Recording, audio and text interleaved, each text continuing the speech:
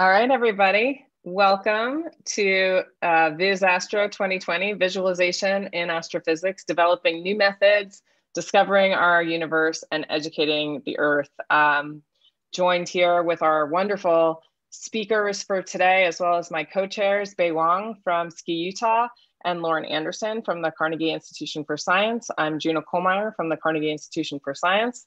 Uh, so I wanted to give an overview of the meeting today. So presenters will be on Zoom. Uh, for presenters, please turn on your Zoom video throughout if your bandwidth and circumstances allow. And we know many people are home uh, owing to the pandemic. And of course, we had all planned to be in Salt Lake City together, uh, but it's wonderful to be able to see you guys virtually uh, but we understand that there may be uh, different things happening in the background. So if you can't turn your video on, that's okay, we understand. And for attendees, please do put your questions in the Discord channel. We are monitoring that uh, channel and we'll be able to pass along your, uh, your questions to the speakers. This is just an overview of the amazing roster of people that we've gotten together here uh, today. Uh, so I'm gonna try to take as little bit of the time as possible. Um, then we're gonna have some, some talks by Alyssa Goodman, uh, Alex Bock, Jackie Faherty, all talking about different aspects of visualization in, uh, in astrophysics, uh, past, present, and future. Uh, then we'll take a break and hear from Matt Turk, Michelle Borkin, uh, and Angus Forbes and uh, Joe Burchett. And we're really looking forward to all of those talks. And then finally, we'll close off with uh, our data challenge and the response to that data challenge, as well as some discussions and kind of uh, thinking about the future. And all these times are in mountain time. So what are the goals and scopes of the meeting uh, today? Really, the main thing we want to do is bring together members of the astronomical community and the visualization community with the goals of discussing data sets in astronomy that need sort of new approaches and methodologies. It's a real opportunity for those of you who are viz experts to uh, apply your amazing skills to uh, these data sets. One of the advantages of data uh, uh, in astronomy is that it is not monetized so we can make our data publicly available and and that is a good basis for um, uh, for uh, for uh, allowing allowing different uh, innovative techniques to to access it. Um, there have been visual visualization techniques that haven't yet uh, been applied to astronomical data sets and we see this as an opportunity uh, for astronomers to revolutionize their scientific workflow. Um, and finally, uh, visualization techniques really enhance the value of uh, educating people about what we do, making uh, not just astronomical research, but, uh, but research generally readily trans transferable to lay and public audiences. I like to say that astronomy is a gateway science, uh, like a gateway drug. And the better that we can convey uh, the both the mysteries of the universe as well as our understanding and knowledge of the universe as it stands at present, uh, the better, better we can communicate that to, to all audiences, um, the better we are as a species. Um, we really would love to build bridges. So even though we have a short workshop, relatively short half day workshop today, um, there are certain major stumbling blocks in our understanding of different astrophysical uh, and cosmological models. And we're really hoping that with a sincere partnership with viz experts who are able to extract signal from um, where there appears to be none um, that we can we can sort of break some of those uh, uh, you know crack open some of those blocks and in in astronomy and cosmology data has always paved the way for new discoveries uh, you know and that includes everything uh, from uh, you know general relativity to to, to supernovae and dark energy um, our models and our data have reached a level of complexity that would clearly benefit from new methods. And so we really want to build bridges between these communities and we'd love to you know, help in building a community of experts that have a common lexicon uh, that bring together our two uh, very different domains. And so that is the spirit in which we are all here. Um, and so I want to just thank uh, our supporters. Uh, we are, uh, the organizers are supported by uh, SCI Utah, and we would have been uh, partying in Ski had we uh, been there in Salt Lake City um, uh, in person and also the Carnegie Institution for Science. So, uh, and, and with that, I will, uh, I will stop and um, let's get the show on the road. And so we will kick off our uh, meeting with Alyssa Goodman. And it's such a pleasure to welcome Alyssa Goodman uh, to our roster here. Alyssa is a world-renowned expert, not just in astrophysics, but also she's been a pioneer in bringing visualization techniques, not just to astronomy, but to other areas of science. And so today she uh, will be giving us uh, an overview of the past, present, and future. And we're just delighted to, to, uh, to have Alyssa Goodman kick off our workshop. So Alyssa, please take it away. Thank you. I'm absolutely delighted to be here. Um, actually, well, I'm not. I mean, I'd much rather be in Utah. I'm, I'm much. I'm very delighted to be with you, you all, whoever whoever you are out there. Um, so some of you may recognize this picture uh, because it was uh, everywhere online yesterday. Uh, it was actually it's actually kind of an old picture. Uh, those of you at the Museum of Natural History know that, but we'll just leave you in suspense as to what this picture is in the background for a little while. Okay, so so I'm tasked with, with with introducing this session and giving some context to what we're going to be talking about.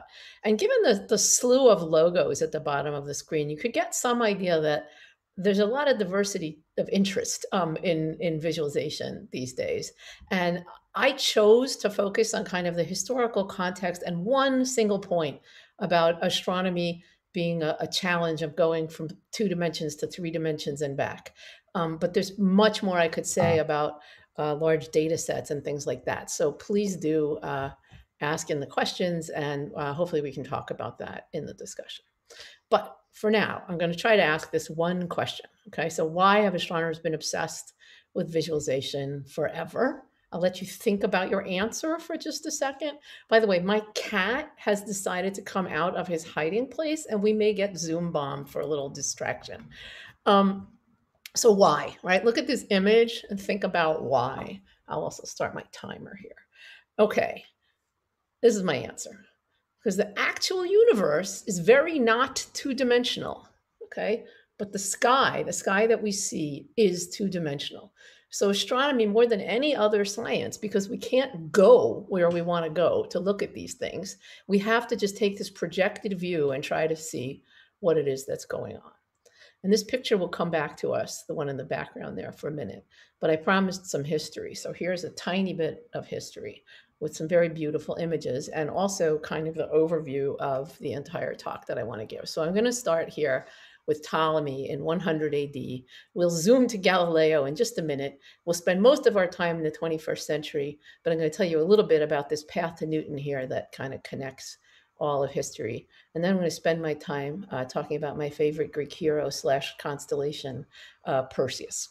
And at the end, if we have time, I'm going to talk about what I think are challenges uh, where we could really use more partnership with the Viz community. So I just love this image. It's an image of the Ptolemaic system. It's actually from the 17th uh, century or 16th century. And just in case you don't know what the Ptolemaic system is, here's a terrible illustration of it. But it's basically where the Earth is in the center, and then Ptolemy invents all these crazy epicycles and equants and all kinds of things to make the Earth the center. And you notice the sun there going around the Earth. Okay, so the order of the planets in that system was Moon, the Moon was the first planet, then the normal order Mercury, Venus, oh, Sun, that's because we switched the Earth and the Sun, Mars, Jupiter, Saturn, and then the firmament, everything else. Okay, so this is what the two dimensional view of the sky led people to conclude was going on in terms of the solar system, which basically was the known universe, you know, in 2000 years ago and more. Mm. And um, that view persisted really until at least the 16th century. Um, there was a lot of questioning of it, which I'll uh, talk about in a second when I show you this path to Newton. But for the visualization people, I just wanted to show you how gorgeous the kind of illustration that was done such a long time ago was. And if you look at the annotation of this thing, I'll translate it for you. It's telling you, you know, what they thought the orbits of various planets were. And of course, the orbit of the sun, nay, Earth, was 365 days. So I, I wish, by the way, that we could get to a level where our, um, uh, what you call it, uh, annotation was this gorgeous. I don't know why technician person, but the floating meeting controls are spontaneously showing up on my screen and messing up some of the animation. So if that could not happen again, that would be excellent. Okay, so there's Ptolemy. So Ptolemy lived at 100 AD. And uh, you notice that he's got this little zoom in here under his under his picture uh, and a little circle. It says epicycles, equants, eccentrics. These are all the crazy things he proposed. And you see some arrows going in there. And like, what is that all about? Please stop putting this back on my screen if you can stop. I don't know how to stop it, but we'll just try. Okay. So anyway, Ptolemy uh, fits in here in this big long story of what I call the path to Newton. So I don't usually do infographics. This isn't usually my thing, um, but I partnered with some other people to try to explain how you get to a predictive theory in astronomy, the, the, the theory of gravity that basically no other science has such a predictive theory. And I say this with only a small amount of authority given to me by the fact that I teach a giant course on prediction with 30 other faculty at Harvard, but that still does not make me an expert. But I will tell you that uh, Newton's theory of gravity is pretty much the most predictive thing we have in science. So I'll just leave it at that. And I'll show you just for fun this lovely infographic and all the stuff that's yellow is wrong and all the stuff that's green or teal is right. And this actually isn't just a, uh, a big, beautiful poster you can print on your wall, put up on your wall. It's actually uh, an interactive website. And so I thought I would just give you some sense of, of how I like to use interactivity in education uh, in, in apps that don't look at the sky. Okay, so there's Ptolemy, and we can mess around and read about Ptolemy, and uh, you know we can keep reading. We can read about some Indian mathematicians, and then you know what? I really want to scroll down to the Renaissance and oh yeah, Kepler, I remember him. Oh, I'm going to click on Kepler and see where he is in the chart. And oh yeah, yeah, wait, there's this Galileo guy. He's like really, really important. He said something about Jupiter and the moons, and it has something to do with our understanding of the solar system. So there you go. I just skipped like 1600 years for you because I want to talk about people who really took this two dimensional sky and tried to make sense of it in three dimensions. So Galileo cheated Galileo used the telescope, um, and that changed a lot. So Galileo could suddenly see a model of what our solar system, with just for the non-astronomers, the sun is in the middle and the other planets go around it. Okay, just just in case you didn't know that for sure. Okay, so he saw another system with a big thing in the middle and figured out that other little things go around it, and that system was Jupiter and its moons. And so he drew these very famous diagrams um, and so this is from one of the most famous books in all of physics. It's called Sidereus Nuncius, the Starry Messenger. And so Galileo, uh, on the left there, you see his handwritten notes, although even they have been cleaned up some. But this is his notebook from observing out in January of 1610. And he's saying, oh, there's this big thing in the middle, and there are these little things, and they seem to be moving. And so these are two dimensional projections of what it looks like when there's a big object with little objects orbiting it. And by the way, eventually he published it in a, in a printed manuscript. And just for fun, my, my colleague and friend Edward Tufte likes to point out that if you try to recreate Jupiter's orbits from where these typeset asterisks are, you get it wrong because the technology of visualization at the day actually limited the accuracy of the reproduction.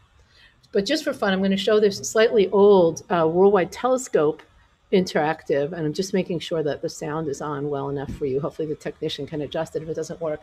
I'm going to show you like 20 seconds of a six minute so-called worldwide telescope tour that just shows you what you can do when you overlay the two-dimensional information to try to let the three-dimensional ideas come through. So, Galileo understood that if he could have observed Jupiter without interruption by daylight or poor weather, he would have seen this.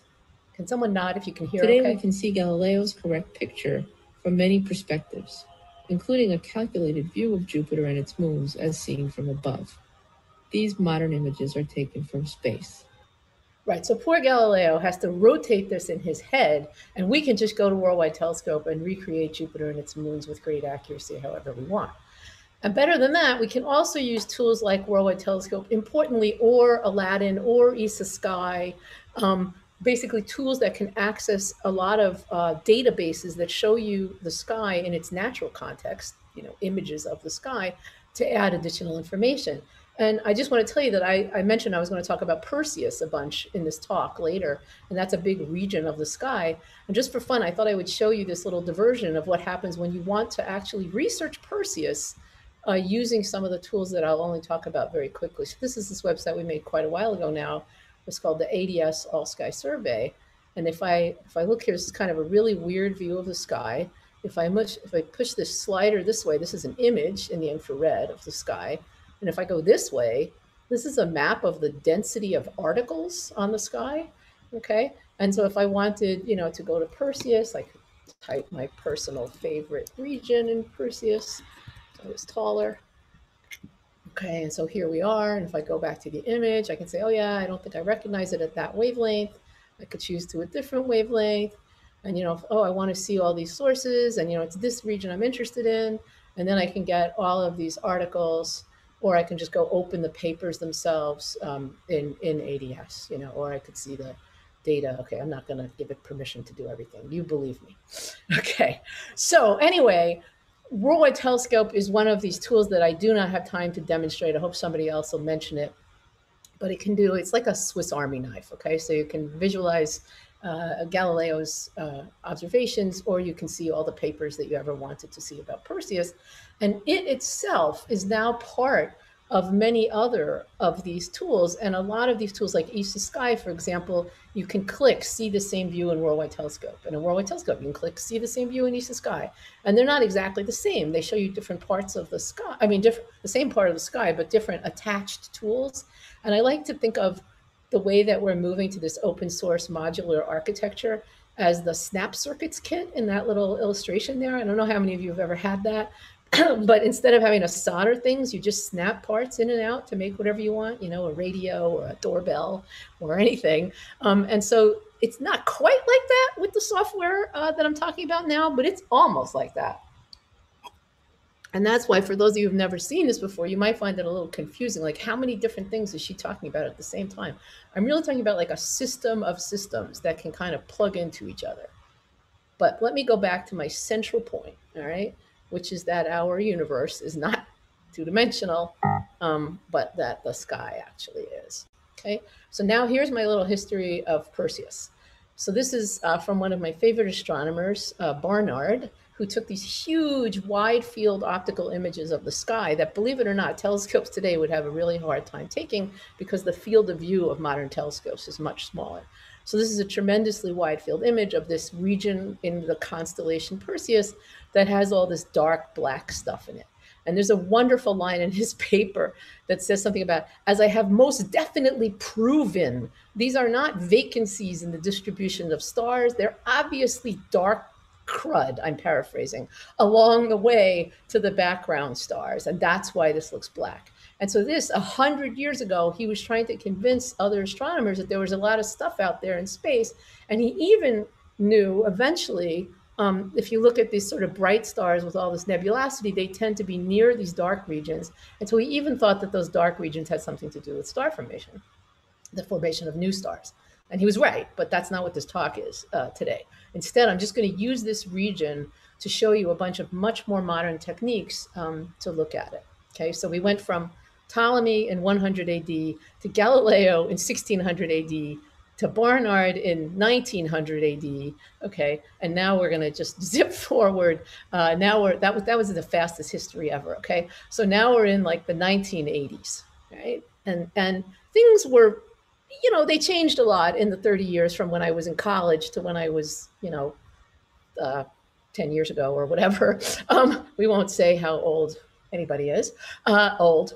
Anyway, uh, but the general idea was the same. It was a lot of 2D images with a lot of annotation on them and some clever use of color. And so if I just go around here, this is all from a paper actually that John Bally led about Perseus um, that has the original sources of these images in it in case you're interested, okay? So this one is just a classic combination where a grayscale map is combined with a contour map.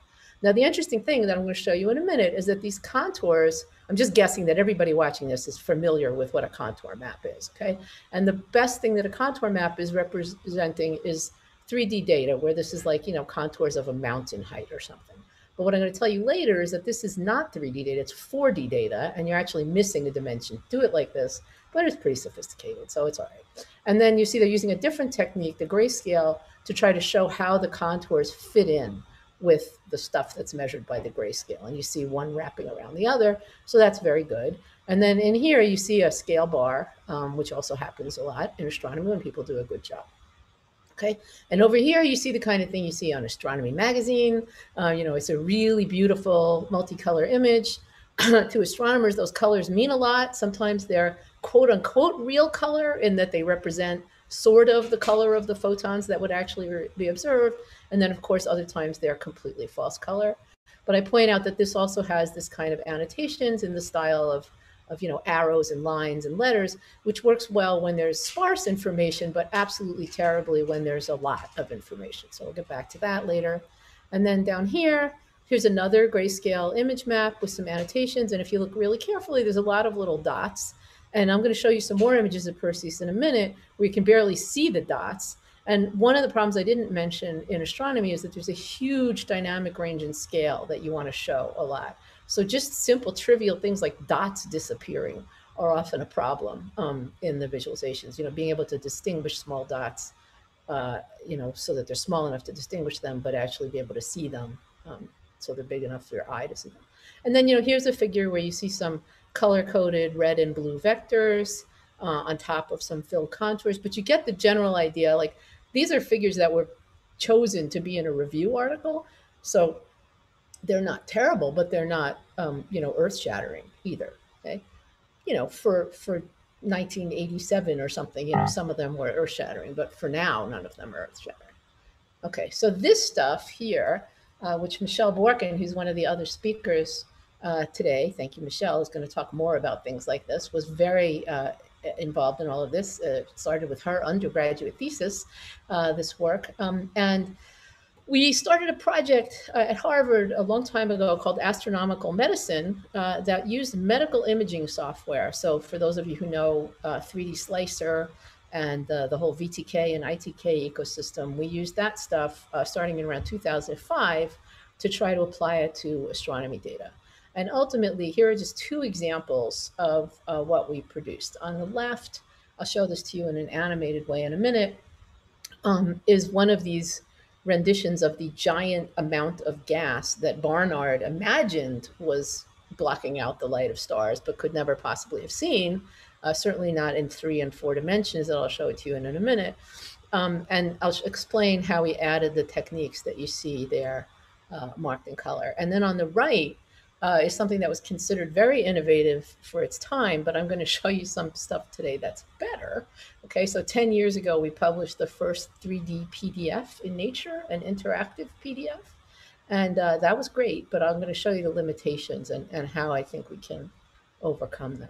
So let me start with that first image. And again, if this was an astronomy talk, I would tell you much more about what all this means, but I'm just going to pretend that you don't care, okay? And that this is, so I'm just gonna tell you that this is the Perseus star forming region. This is what the kind of thing Juna was talking about. Again, if this was a different talk, I would talk about the difference between what I call wide data or diverse data and big data. Okay, so big data is, you know, at least it was this buzzword five years ago, and people are all worried about the volume of data. But actually, in my experience, that's handleable and it's the diversity of data and combining different data sets is where the real power in scientific discovery comes from. So anyway, this is a list of many different data sets. And so you see the kinds of things that we were talking about before, the points, the little tiny points are hard to see. There's some contours, there's a color image, there's also a black and white image. There's this little cube, which is suggestive of something I'm going to talk about later. And what I didn't tell you is that these green contours, again, this is all you need to know for today. And if you're interested in the astronomy, ask Michelle or me later. Okay. But the green contours are actually the sum of stuff along the line of sight that you're not seeing in this image. So one way to see that stuff is to just make a movie of it, right? And so let me do that again. Hang on, let's do that again. Let me try to, now I'll make the movie interactive this time. Let's see if I can get this to work. Come on, hang on. Keynote does that thing, you know, where sometimes you can control the slider and sometimes you can't. Come on. Thank you, Apple. Well, I'll just have to let it play. This is going to be the non-interactive version. Okay, so if I can just let it play, hang on. Whoops, sorry. Wow. I think all right. please. All right. Well, if you just look at that, I'll just play it one more time. I'm going to drive you crazy. Sorry. Okay. So I'm going to show you that here. By the way, to any of you who want to use a slider in your keynote presentation, I think there's something funky going on with uh, Zoom. Anyway, so you see this white fluff kind of moving across the screen. The sum of all that white fluff is the green contours. Okay, so you're losing whatever that three-dimensional information that the white fluff is telling you about. Again, I'm hoping Michelle will explain that if this was medical imaging, those would be like sections, different depths into someone's brain or into someone's heart, and a, an expert at anatomy could put that back together into a three-dimensional picture. But astronomers, as brilliant as we are, uh, cannot put that back together into a three-dimensional picture. And so here's just a movie uh, from something that was actually interactive at the time, although not as interactive as we wanted, of what that means, what that white fluff looks like in a real three dimensional space. It's a space of two dimensions on the sky and one of velocity. But again, that, that's too much astronomy for today. So never mind.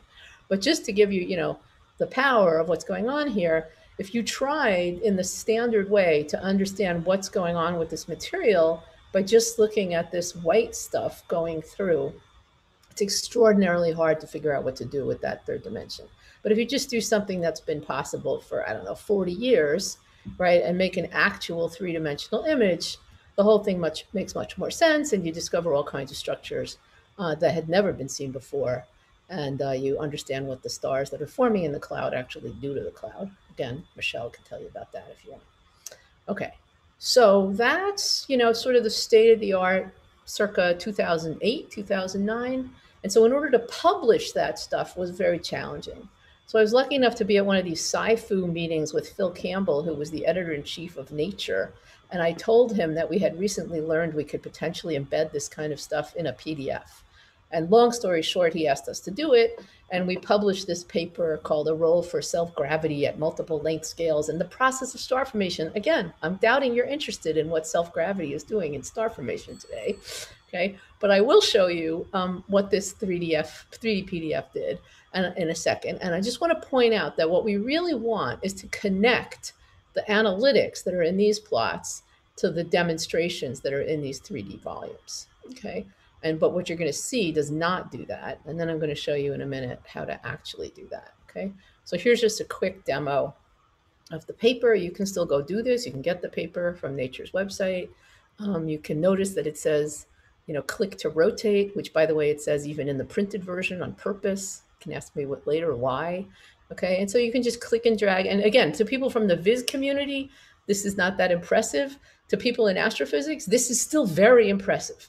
Okay, and so um, you know, and you can turn layers on and off, and you can give people different views of the data.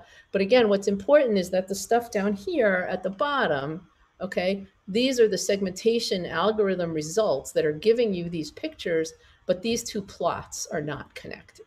Okay. So what do we really want? Uh, we really want what John Tukey wanted in the 1970s. Okay, we want fully uh, linked views of all of the data sets that we want to look at at once. He was thinking about one data set at a time. I'm going to be greedy and say I want as many data sets as I want at a time. And we want to be able to highlight salient features like pieces of that tree diagram and see where they are, for example, in those volume renderings, right? And so there was nothing that could do this in 2010 uh, when we were done with our software. I have six minutes left, Juna, on my clock here, so I'll, I'll take them.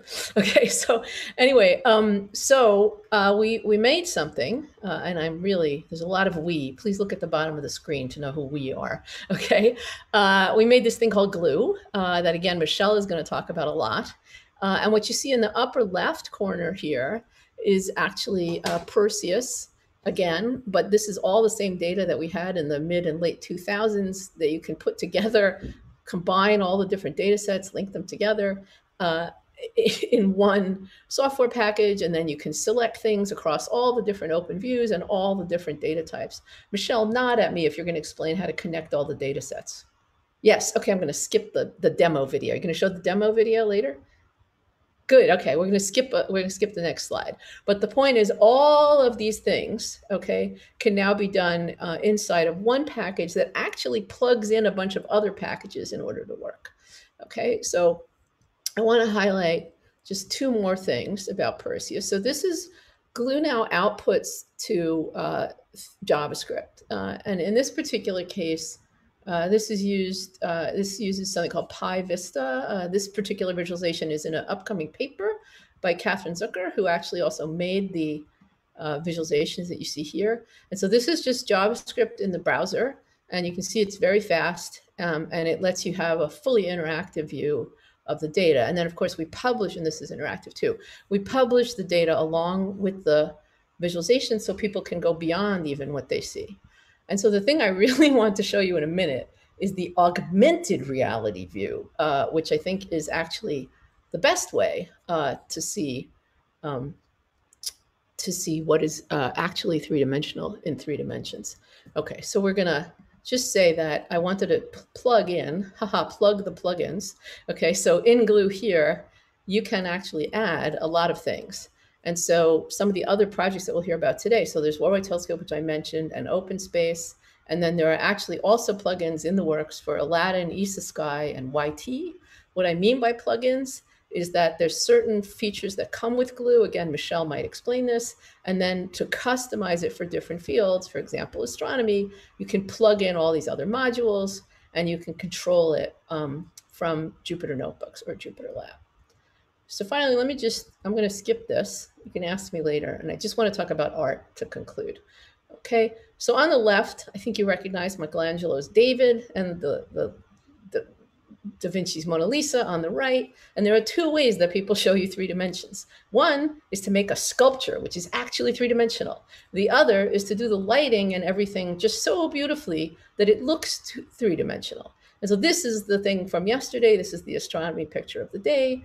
It has this beautiful lighting, which you can call sfumato in Italian, but it still doesn't quite look three dimensional. Um, when this was put in the American Museum of Natural History show, uh, they actually used the real three-dimensional data. And you notice if I scroll through this, you kind of get a sense of what's going on in three dimensions. Okay, so is that sculpture? Is that like real 3D? I don't think so. Okay, not quite, but your brain is fooled extremely well by the combination of motion and occlusion. Okay, but you really are relying on memory. So in order not to rely on memory, uh, we've now made it possible to put three-dimensional data, including Perseus, okay, onto a virtual reality cube. I'm sorry, an augmented, importantly, augmented reality cube or onto a tabletop. So I'll just show you, if you scan these codes, maybe you should do it at home because I'm running out of time. I was gonna show you live. I'll show you during the questions, how about that? Um, but there you go, that's what it looks like if you want Perseus to float above a printed paper of Perseus right there on my kitchen table.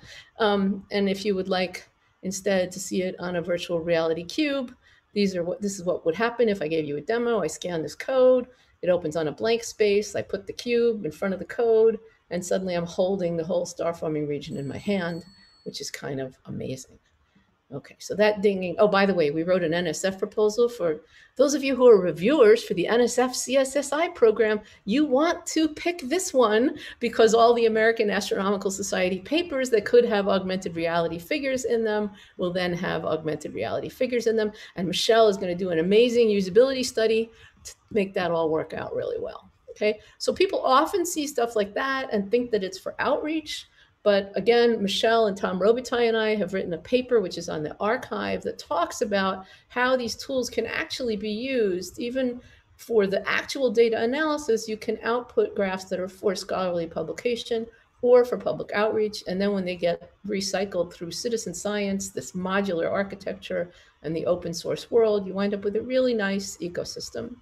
And the most beautiful example of that I was going to show you was the Radcliffe wave, but I don't have time. So go Google Radcliffe Wave, and I will tell you that um, Arzu gave a great plug yesterday for the blog that she and I uh, created called 10qviz.org that lets people who are not visualization experts, for the most part, look at these questions to try to get started. So that's pretty much what I wanted to say. I'll just tell you that the two challenges I would talk about are to deal with having many, many, many different data sets that you could glue together, but you can't handle when there are a thousand of them. So you have to treat a case as a variable. And then the other problem is even with tools like this, 3D selection of features in a manual kind of interactive way is still a huge problem. And I will stop there with 43 seconds over. Sorry. Thank you very much. okay.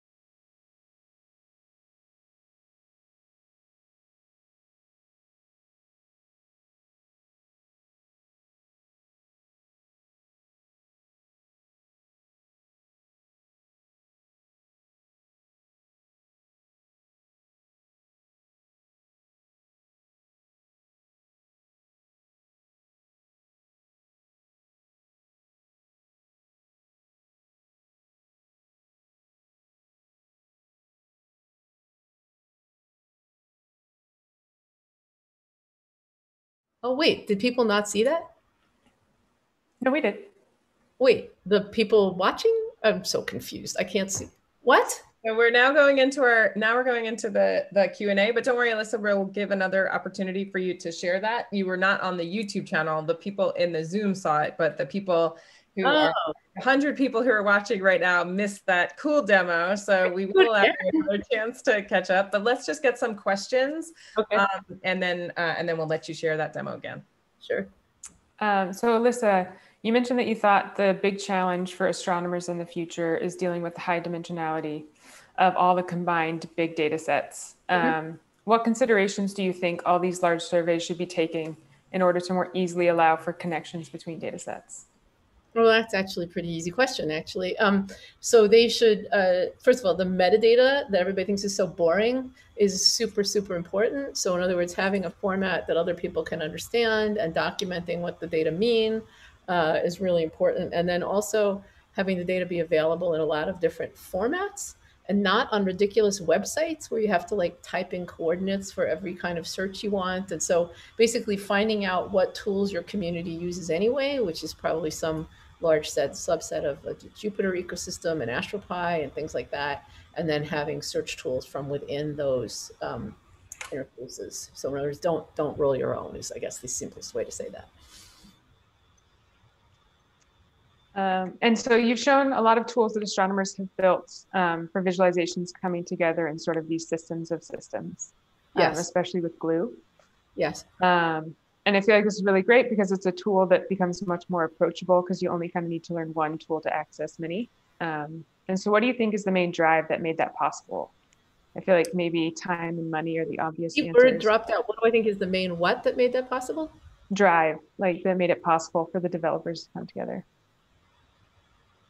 Oh well, I mean, a lot of the developers already worked together, and so the developers don't actually work together on this. In other words, there's this Astropy community uh, that there's a lot of people, a hundred and something people that contribute tools there. And then a lot of people on this Zoom are friends with each other. And so you don't actually need, it, it we, we never want to give people the impression that glue is some giant monolithic program the way IDL was or IRAF or something like that. It's, it's an ecosystem to connect things and it's pretty well documented. And so people make these plugins and, and actually the problem is not discovering people people's plugins when they make them. And so we could actually use better uh, organization for that kind of thing. Um, so the answer, I mean, the, the desire for this came from data like what you saw, like from the complete survey of Perseus um, that you saw from 15 years ago. And we were, I was originally using Datadesk for those of you who know what that is. And then Chris Beaumont, who was the original architect of Glue, wrote uh, Datadesk for 3D images uh, in IDL, which cost $1,000 a copy. So we clearly didn't want to do that, but it was a proof of concept. And then Tom Robitaille, uh, taught Chris Python in a couple days, and then Michelle gave him some idea how to do a nice uh, interface and user studies, and then the whole thing kind of evolved after the James Webb Space Telescope decided that Glue should be like the official software for visualization of JWST, and started off by giving us kind of a million dollars to get going, and the rest is, as they say, history. But I'm not sure that's what you wanted to know. Oh, that's great. Thank you. So I'd like to give Alyssa an opportunity to share the demo that she shared with uh, the presenters to all of the YouTube folks. So let's um, let's move to uh, Alyssa's demo, and then we will uh, and then we will go on to our next speaker. By the way, if people do have more questions, please put it in the Discord channel, and we will keep tabs on that uh, and and convey those questions um, throughout the day. So just because the speaker isn't on doesn't mean you can't ask that speaker questions. Sure, sounds good. Okay, hang on. So you guys see now, now everybody's seeing this? Okay, if it works twice, you know, then it's like a really good demo, right? Okay, so here you go. So this is unpublished data uh, that is showing you actual three-dimensional structures. Uh, that's what you see in green. And uh, what you're supposed to be seeing here is that that huge semi-transparent sphere kind of connects these sets of structures. And I can't remember either the blue one or the pink one is Perseus that you saw before. We don't have annotations in here yet. I think it's the blue one. Um, anyway, and so I can scale this, I can put it down on the table and it's still there. Oop, but not if I put it in the shadows. There we go. Put it over there. And I can just zoom in and out with my hands, or I can zoom relative the, the size of the cube. So that is that. So it really works. And I can also make it hover over the table, but I don't want to take other people's time. Thanks. Well, thank you so much, Alyssa. Um, it was really fantastic. And uh, and Alex Bock, will you please share your screen? Thank you all. And you should all listen to Michelle because she's going to finish telling you all the great details and more. Um, so Alex Bock uh, is, we're, we're very excited to have Alex here talking with us. I know many of you guys know him from, um, uh, from, uh, from from the visualization community. And for the astronomers among you who know Alex, he's one of the lead developers of OpenSpace, which is an incredible resource both for uh, education and public outreach, as well as for professional astronomers. Um, he's currently joint uh, in a dual uh, a dual appointment between SCI Utah and Linköping uh, University, and so we're we're really delighted to have Alex with us. He is um, uh, really special in uh, connecting these communities. Alex, please share your screen. Great. It should be on.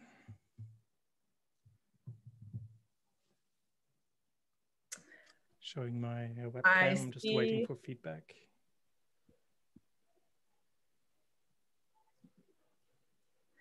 I see your I see your slides, but I do not see it shared with the uh, with the with the broader world. So there are 101 people who are dying to see your slides. So uh, maybe uh, there they are. Yep, great.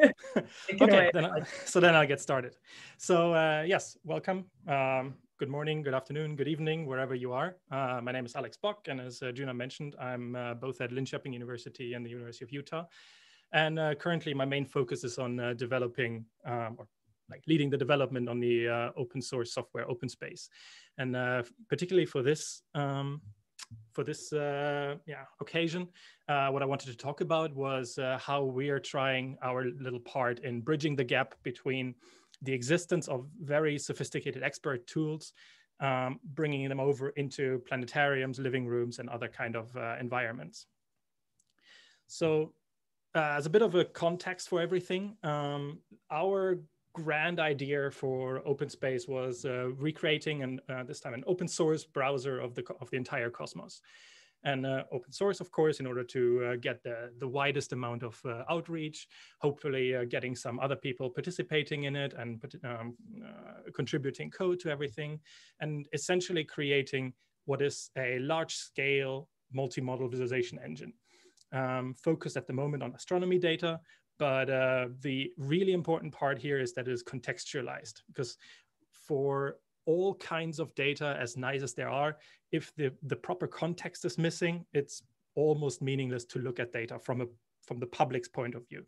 All researchers, they have kind of their their context built in into their brains and can uh, um, extrapolate that. But in order to to display data sets for the general public, we really need to um, bring that context to people for people. So three of the um, the, um, the, the target domains that we uh, that we're targeting are um, space missions, uh, different kinds of observations, and simulations, and bringing them all together and displaying them on a variety of different display devices. So here on the right, you see flat screens, uh, fisheye rendering, which is half uh, occluded, uh, but then also display walls. And it's all about what Alyssa already started mentioning. It's about the combination of merging this explanatory visualization and the exploratory part of the visualization. And that is all for science communication and outreach. And I think it all, the, the best summary of this is actually this slide. So here we have two visualizations of Mars, uh, both done within OpenSpace and uh, both of basically the same data sets. Um, on the left hand, we have a, um, a small kid, a, a, young, a young child what, uh, that was walking up to one of the public installations uh, in New York that we were having. Um, he was picking up a game controller and flying around Mars and looking at all of the all of the data sets that we have. Was flying down to Mount Olympus, etc., and like looking at a marvel at the data more more precisely. And then on the right hand side, we have uh, Jack Mustard, who's uh, on the science definition team of the um, Perseverance rover. Um, and they're looking at some of the CRISM data sets using exactly the same algorithms. So just by changing your, your frame of approach to the data, you can get vastly different um, results from the same kind of software. And this kind of like, replicates of what we really, really want to do. So OpenSpace is a collaboration between a number of partners. So it was started uh, here at Linköping University and in collaboration with, uh, close collaboration with the American Museum of Natural History in New York. Um, and then we got uh, other partners on board uh, very early on, the NASA Goddard Space Flight Center, uh, the SCI Institute, and uh, Tandon, Tandon School of Engineering at New York University. So one thing to keep in mind for all of our software is that we're, we're dividing our user base into three different categories. So on the one hand, we have the users. Those are the people that are standing in a planetarium, making use of the data sets and explaining complicated topics to the wider audience. This can be in a planetarium, but it doesn't have to be. And this is also people that just download the application and start using them on their own uh, in order to explore the cosmos. Uh, on the other hand, we have the, uh, the builders in the center. Those are the people that make use of the already implemented features in order to create something new. So this would be uh, an example of this, for example, would be uh, adding a new model for a spacecraft and showing the trajectory of that spacecraft. And then on the, on the right side, we have the developers, which are actually going into the nitty gritty parts and implementing something completely new. This most of the times is some visualization research, but also more engineering challenges. This, of course, uh, it takes a village to do that. So here I have a list of all of the people that over the past seven years now have contributed to OpenSpace. Uh, at the bottom, we have all of the master thesis students, uh, four of which I'm going to be highlighting during this presentation. And uh, yeah, it's basically on the backs of these students that have done tremendous amount of work um, that most of OpenSpace has been uh, constructed. So as I said, we want to support different display systems. And here's one of the videos that I was uh, presenting last year at VIS, where we were talking about how to, how to actually achieve that from a systems point of view.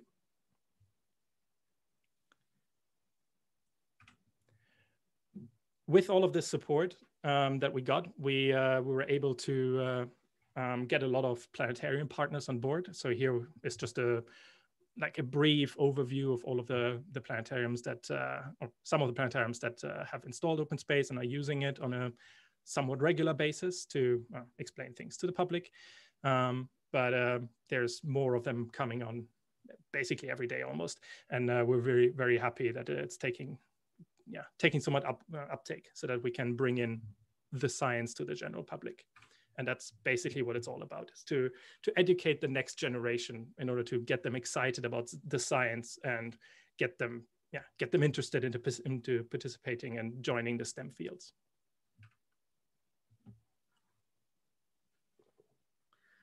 So in order to do that we had to um, uh, tackle a couple of different challenges um, ranging from uh, the different spatial and temporal scales, which uh, there exists a paper about, uh, to the variety of data sources, which we're going to talk about in this uh, in this talk, uh, but then also collaborative experiences that I'm going to explain uh, in a bit. And then lastly, if we want to run in public installations, there's a requirement for the flexibility and robustness of the software as well, of course.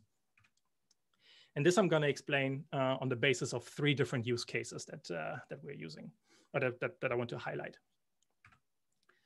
So number one, uh, we want to make use of open space as a tool for astronomy research. This is the most um, the most applicable to, to this workshop. So this is why I'm going to start and end with this. Um, and as one of the examples, I want to highlight the uh, the work of two of those master students, uh, Christian and Emily, who uh, who are still actually currently still writing up their thesis work. Um, but um, we were using their tools for creating a public program in order to show the effect of the radiation coming out of the uh, out of the sun and looking at uh, coronal mass ejections and so forth. And uh, all of that data um, was provided to us um, by predictive science inc. And with the help of uh, nasa johnson and nasa goddard um, we were we were able to put together a program at the museum um, to explain this actually very, very complicated subject matter in a very intuitive way. So here I have a, um, a, a, screen grab of the, of the event. So we're looking at the sun, which you can see here on the left. And um, we're looking at the so-called Bastille Day event. So that's uh, that was happening on the 14th of July in 2000, and it is one of the most studied um, solar events. So we're seeing on the sun a magnetic uh, magnetogram, which was used as an input to drive a simulation that you can see here, both represented as a volumetric rendering and as, a as field lines and these node diagrams. I'm not going to go into the details of that, but the talk is online, so uh, I would refer to that. So as I said, there's a screen grab, so we have the lower thirds from the screen grab still in there, but that works. So um, basically, it was like an hour program where um, John John Linker, the expert, was basically talking everyone through what is actually happening and being able to show how the uh, the highly energetic particles um, were, yeah, spewed out from the sun and were, um, yeah, make their way to the to the Earth and what impact it has on the magnetic field and so forth. So the the the reason why I want to, to highlight this and show this is that John Linker as a domain scientist, and in this case, Leila, uh, they're very, very closely integrated with the development of the visualization that was happening by Emily and Christian. And this tight collaboration is immensely useful, but it also takes a large amount of time. This is kind of one of the one of the the, the, the potential problems with building this bridge that not everyone has enough time to actually sit down for a month or two in order to design this kind of new visualization. So that's why we have to make it as easy as possible in order to uh, uh, to foster this more, uh, this collaboration better. And jump a bit forwards, we can see how all of those particles moving to, towards this, towards the Earth, and it's kind of cool, but also informative. Um, the second uh, use case that I want to talk about is uh, outreach in different planet in planetariums, exhibitions, classrooms, etc. I'm not going to talk too much about this because I'm uh, uh Jackie will uh, will talk about the Gaia dataset, but uh, um, also had to put in a picture of Juna. Um, so this is one of the, the oh, in the background, you see one of the videos of this, of the old Sloan database, which, which we're also visualizing in 3D and making, explaining to the people the 3D structure of it. But then also having more uh, entertaining uh, outreach opportunities. So the third use case is um, showing how mission visualization is actually happening.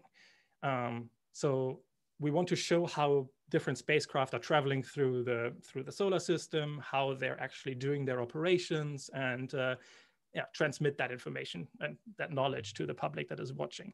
So in this case here, we're seeing um, a visualization of the Mars InSight landing in real time um, that we put up online. Um, but it all started uh, with the New Horizons spacecraft back in 2015. So here we took the spacecraft model and placed it in, in its correct location and then visualized what the instruments were doing at each specific, specific um, time. So here in the top image, you're seeing that yellow little triangle thing that comes out. That is the field of view of the LORRI camera on board New Horizons. So at the time of the flyby, we were showing what the spacecraft was doing exactly in that moment, which pictures that it was taking, because that was all planned years ahead in the in, in the past. Um, and we were basically getting everyone on board on yeah on the idea that this is the science that it is happening at that moment while we're looking at it. Of course, a lot of time has passed since, and uh, four years later, uh, New Horizons was flying past uh, its next target, um, PT1. And uh, here in the bottom, we have an image of that. Of course, it was flying much further apart, much further away from it. So we have to like enhance the image. The reason why, I want, why I'm showing all of this is that we were sharing this experience with about 1,000, 1,500 people all around the world that were all sitting in their own planetariums and in their own homes and looking at a live stream of everything that was happening. So at the time of the flyby, precisely at the time of the closest approach, we were having a live stream with um, part with people from the mission, and they were explaining what their instruments were doing, what images were being taken at that moment, and basically providing the grander context of what people were seeing. Because if I go further, you can uh, see here that we didn't actually at the time see that much because the images were not sent back yet. So everything was basically just green squares, um, which is visually not that appealing unless it's explained in its proper context. And uh, this was building on one of the, um, yeah, on one of one of the software systems in open space that we that we have since uh, expanded on, which uh, we call now Astrocasting, where we take the the input from a single host, send that to a server that then distributes it to a number of other peers that are each rendering everything according to their own geometry. And this is one of the um, the ways how we were able to get so many people on board without overloading their internet connection without pre-rendering everything and so forth. So for example, on the image on the slide before, you were you saw that uh, one of the planetariums that we were supporting was in Accra in Ghana, and the internet connection wasn't really that good. So streaming video, for example, was basically out of the question. So this this served as a very nice, uh, yeah, essentially compression method.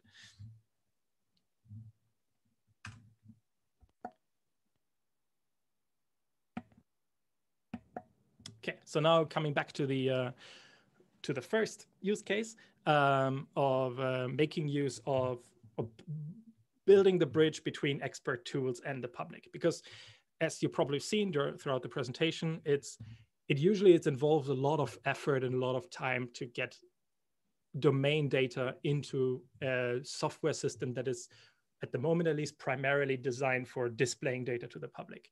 So the, the a large amount of work within the last year has been dedicated on trying to remedy that.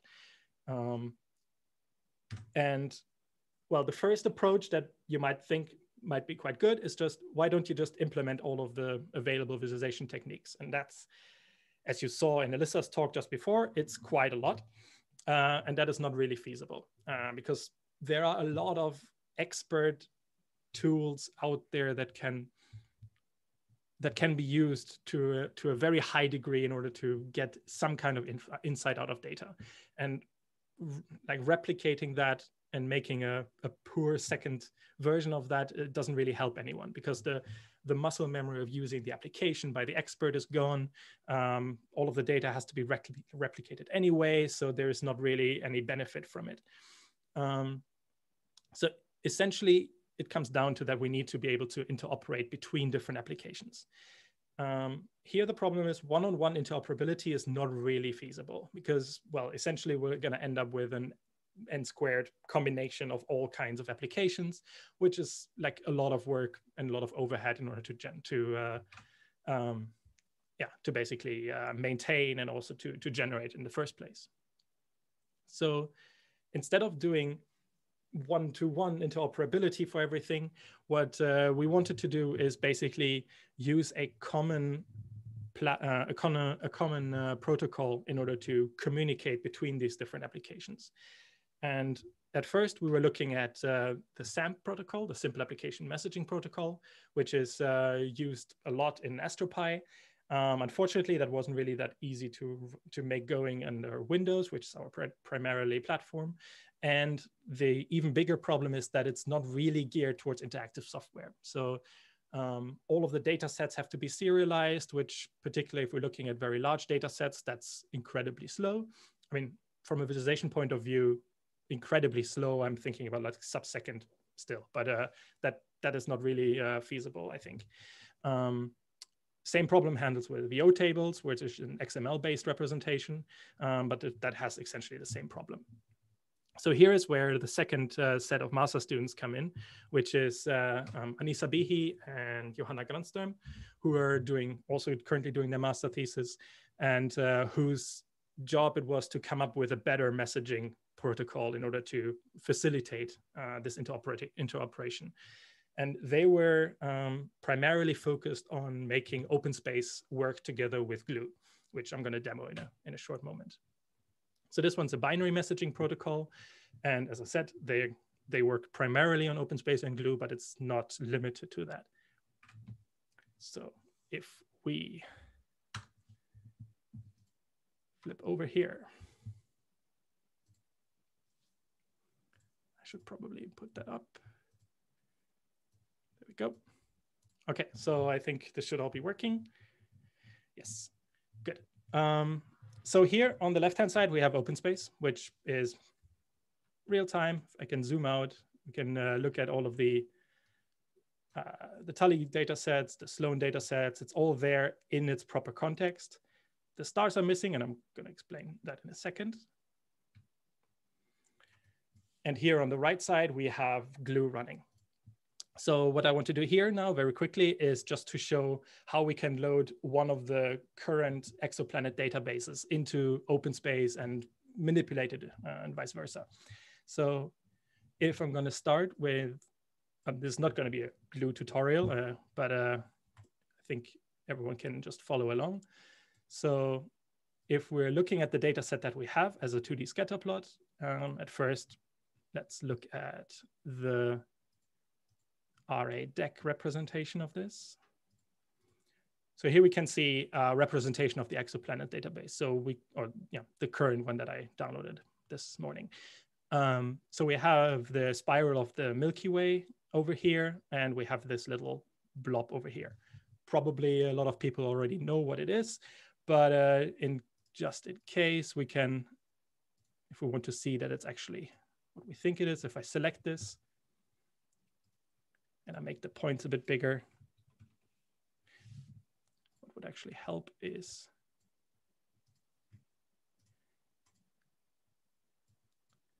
So if I uh, drag in the OpenSpace viewer, um, this one we should probably do before. So we map the RA to RA, the DEC to DEC, and as the distance, we use the system distance. The details, again, as, as Alyssa said, I assume that no one cares, but uh, we can connect this. So now we have the subset. And if I start zooming out, you can already see one red dot. So here we have all of the, the subsets that I just selected. And well, as, as I said, some people might know this is the, the, the initial Kepler data set that we were that we're looking at. So now I have the subset here. I can change the, the color if I want. Um, I can go into, into open space and change it the other way around as well. So, so whatever I do, it, get it gets uh, uh, replicated. So now let's, um, let me just look at what I had planned. Yes. So another data sets, uh, another data set is here.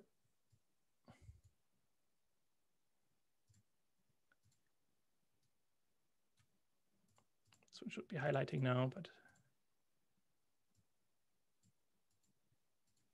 there we go. That's the wrong one, but this, this is why I'm not a glue uh, developer. Um, what I actually want to show is um, one of the, the really nice parts of that we can now do. For instance, if we look at another 2D scatter plot,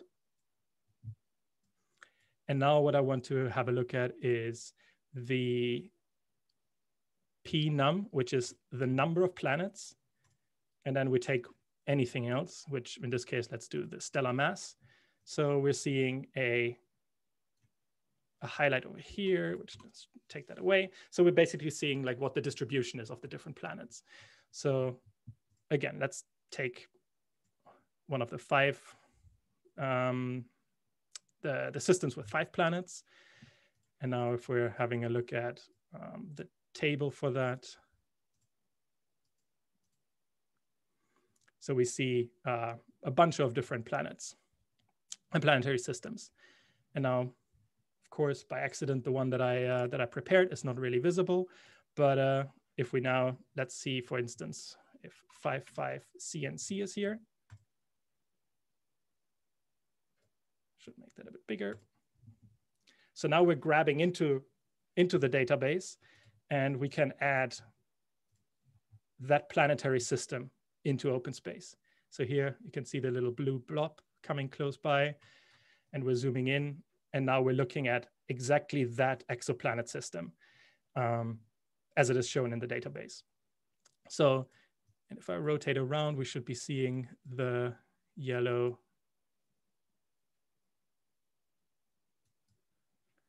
Of course, not, the demo gods are killing me, but uh, there, there we go. There is the, we can see what the data set of the Kepler looks from this, um, from this place, for instance.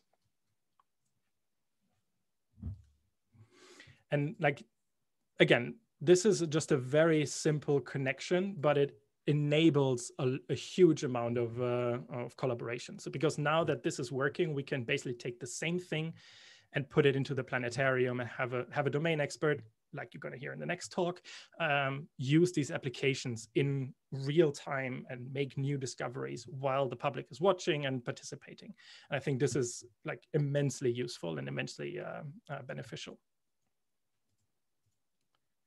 so if i switch over to the presentation again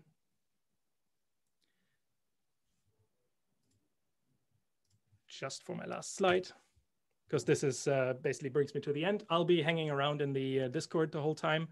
Um, as I said, all of the stuff that we uh, that we're showing is open source, and feel free to to grab it from GitHub, play around with it, uh, ask us any questions if it doesn't work. But um, particularly the protocol is still work in progress, so there's going to be changes quite a lot. And with that, I'm happy to get any questions if there are any. Thank you.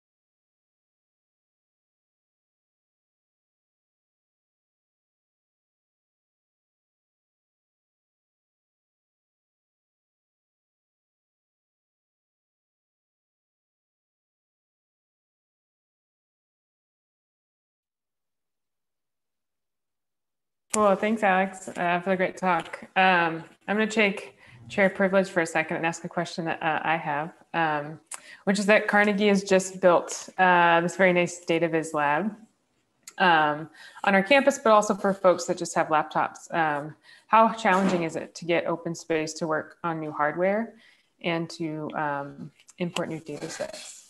Um, basically getting it up and running on new hardware. If it's just a laptop or a stationary computer, it's basically just a download and then starting it up and you basically have what I was just showing. Um, if it's, for example, some some bigger Viz lab of like a um, Powerwall or something, then it requires a bit more math and knowledge of our XML configuration file, which is also out and not published yet, but uh, at least the documentation is out there. Um, so that is all doable. But I would say we were setting up a new um, Powerwall at NYU, and it took basically a week to to get everything from from cold to up and running. Very cool. And uh, and what about new data sets? Are those challenging to import into OpenSpace? I mean, that's basically all the, the, the crux of all of my talk, that with the connection with Glue is from, if I put on the OpenSpace hat, I don't need to care about getting in the data sets anymore because the great developers at Glue already did all of the work. We, we're tapping into that and making use of the best of both worlds. So having said that, now with Glue, it's really, really easy. Um, before it was a bit more work, but still not terribly much work, but enough that it would be a hurdle, essentially. Awesome. Thank those grad students for us. I will. um, okay, how do you recommend displaying uncertainties in images, spectra, positions, or is that not really possible yet?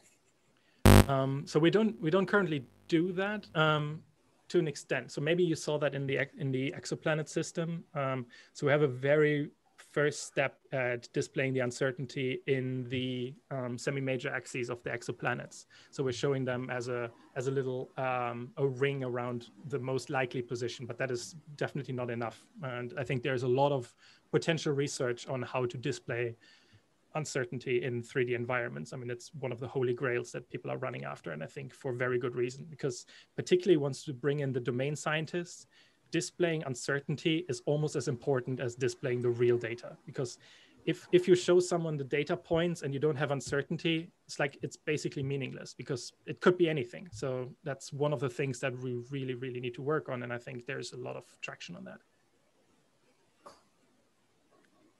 Awesome. Thank you alex. Uh, and so now i think we're going to uh, transition to jackie. Uh, thanks again alex for a great talk. Thanks Thank you.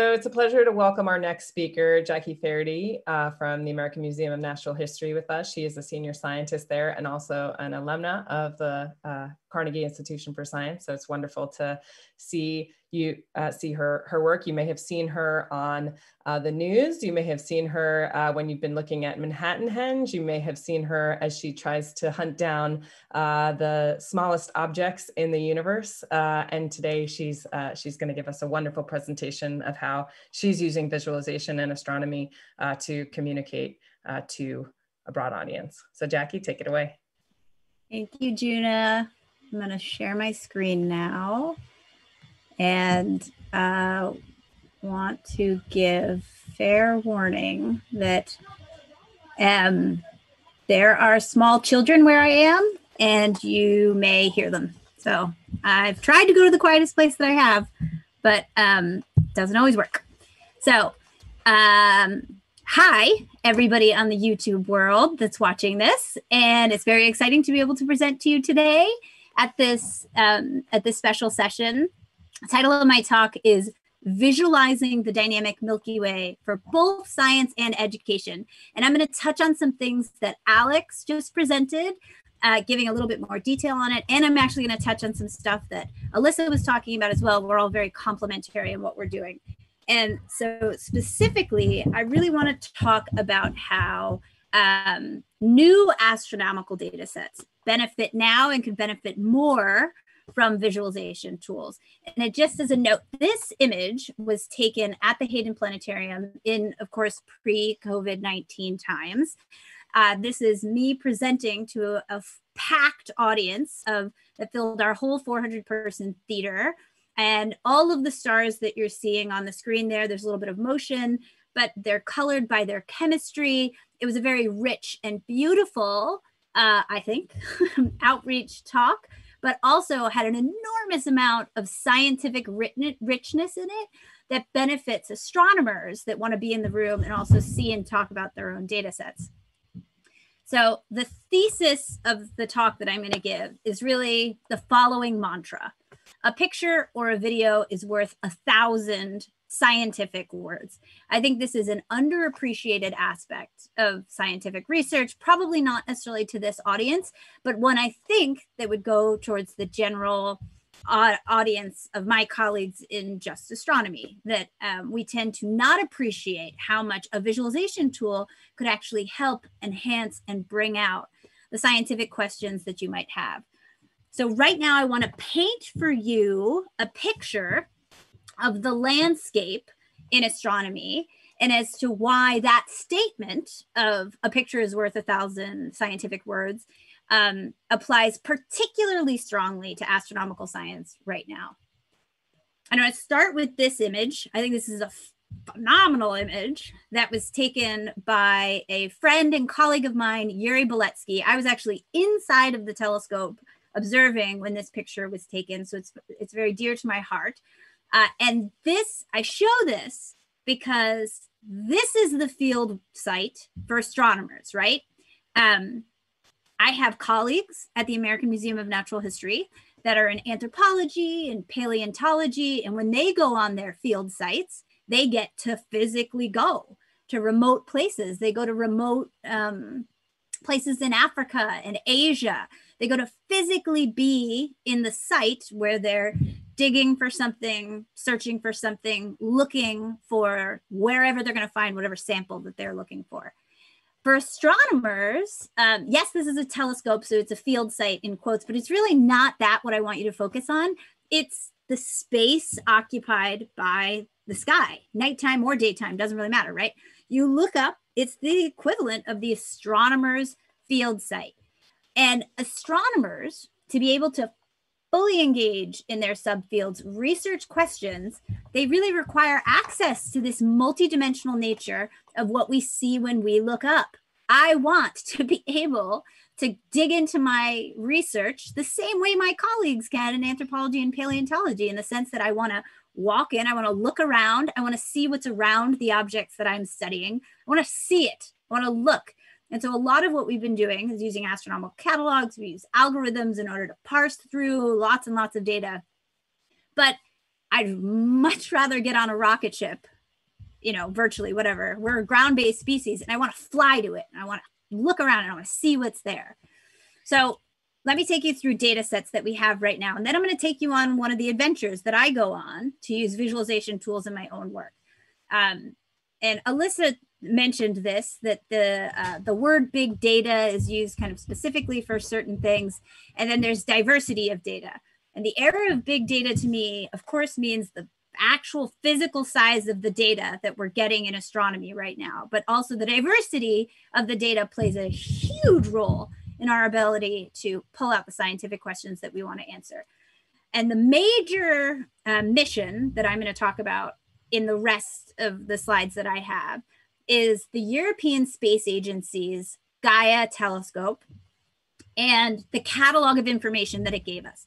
Why is it so important from a visualization perspective? If you've ever heard me give a talk before, you're probably like, I know what Jackie's about to say. She talks about Gaia nonstop.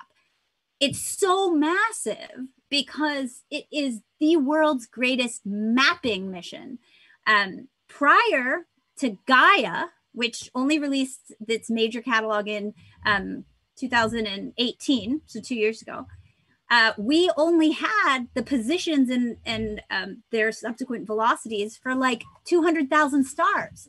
Gaia shows up, and on April 24th, 2018, it drops a catalog of nearly 2 billion three dimensional positions and velocities for these objects. So uh, that kind of information demands visualization tools. I don't want to play with it in two dimensions. I want to be able to immerse in it. On top of that, we have all of these catalogs coming along that give us temporal variability of things. And the temporal, hang on. Hey, I'm on a I'm on a call. You guys okay. kids, told you. Um, on top of that, there's a temporal variability that we're just getting. And I, I cite here the Rubin Observatory. It's going up on a mountaintop in Chile. 15 terabytes of data a night, 200 pet- petabytes um, set of images and data by the mission end. And that information we want to have correlated with the Gaia DR2 survey so that we can map, we can look at exactly how things are changing in time, in position, in all possible aspects. Um, these aren't the only surveys either. We've got uh, Juna is heavily involved, is leading the Sloan Digital Sky Survey's fifth um, mission. Then there's the Apogee and SphereX. They're giving us compositional information of stars. We want to pull all this information together, get on our rocket ship, fly around, and immerse ourselves in the data as we try and solve the problems of the universe or the questions of the universe. They're not really problems. So one of the ways that um, that I've been doing it is using the planetarium software that we have, OpenSpace, that Alex just went into great detail about. I use it because I was using it for planetarium presentations in order to bring questions of the universe to the general public. So jumping into those catalogs, you can put them in to talk about data and then you start seeing things. So I'm going to take you through a set of three different videos that I've rendered that tell a couple of scientific stories that I've been particularly immersed and involved in um, publishing papers on. And the first video is going to just show you the immensity of Gaia DR2 data. And I just want to say I've been giving a lot of Zoom talks, so I know that this is going to have a low frame rate, and I apologize for that. Um, and a lot of these videos you can catch on YouTube in a different link, and I can post them in the chat later. This video takes off from the Earth we move away. For those that wanted to be oriented, I put co- the stick constellation lines on. And right now, this is the sky pre Gaia. Now, this, what just got turned on for you, are just a couple million of the stars from Gaia DR2.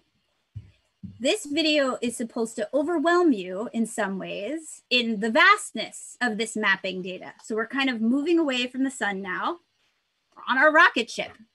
We're moving amongst these stars and we're going to kind of shift and move around them and look around. And first time you see this, or the first time that I saw this, I was wowed by it and uh, overtaken. I was also confused. What am I looking at? How how do I interpret what I'm seeing? The stars are color coded by temperature. That gives you some signatures. And we're just flying by a star cluster, which you should be able to see if my computer doesn't crash, which it may have just done. No, it's still good. We're gonna go to the second video because it looked like it paused. And I'm just gonna pause this to set it up. So that last video ends with an immense amount of data. So Gaia DR2 took us from maybe 200,000 stars that we had good positional uh, mapping information to 2 billion. And now you want to parse that, immerse yourself in it, and figure stuff out first thing I wanted to do know was what stars are moving with what. Who's who are the families? So this video shows you not only did Gaia DR2 give us positional information, it also gave us motion. So we can move time forward now at a oops at a rapid rate. Let's go back. Um, we can move time forward, and when we do, which you will see in a second, this will start now. Um, I have selected a very special subset of stars in this. So I'm kind of moving away, kind of close to the sun again. I'm going to move away maybe to about, um, maybe I'm 50 light years away or something like that.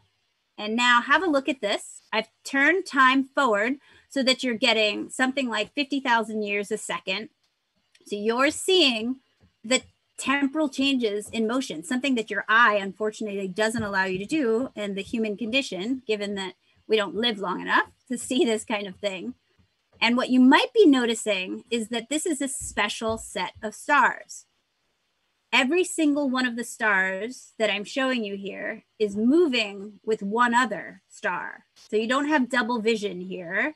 This is a sample of about 180,000 stars that all co-move with each other. So I'll let it play just a little bit um, once again, because one of the things that I look to for this um, the visualization is confirmation for me that what I had found was real. They don't all fly off in different directions. That would make no sense. Um, but I can also find things this way.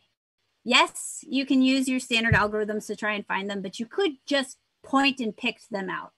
And so you're finding them. And also, you're seeing things. The separation distribution of these stars becomes naturally evident to you as you're looking at it. You can identify very separated stars. You can actually see small differences in how some of these are moving with each other. And now you can actually step out of this. So this was this was a paper that um, it's actually a paper I've been working on for some time. The new sources that we didn't realize before that were co-moving with each other thanks to Gaia DR2. And now let's move a little bit farther. So now you've found two stars moving with each other. Now, who do they move with? Now, can you find larger structures? So we started with that sample of, you know, 180,000 or so of those just moving with one other, but then you require, okay, I want to see all the ones that move with anybody else in that group. So how big of a structure can I identify near the sun? So I'm going to move away from the sun. And what comes to life is so awesome. So we're going to move away from the sun here. And now you're seeing the local structure near the sun of stars and how they clump. These are their homes. This is where they came from. This is the remainder of, of all of the star formation that's been happening in the nearby vicinity of, of our part of the galaxy. Uh, and so you know this this actually is the result of a different group of Marina Kounkel and kevin covey. They put out a paper. They had a lot of really cool 2d video 2d plots. And then i put it in here and i was blown away. And now i've moved time forward. So not only are we seeing how those structures are look in three dimensions but you can actually see how they possibly interact with each other over time both forward and backwards. Now, it's a lot of work to dig the science out of here, but I look towards these videos in order to be able to say something about the past, um, the past, present, and future of star formation.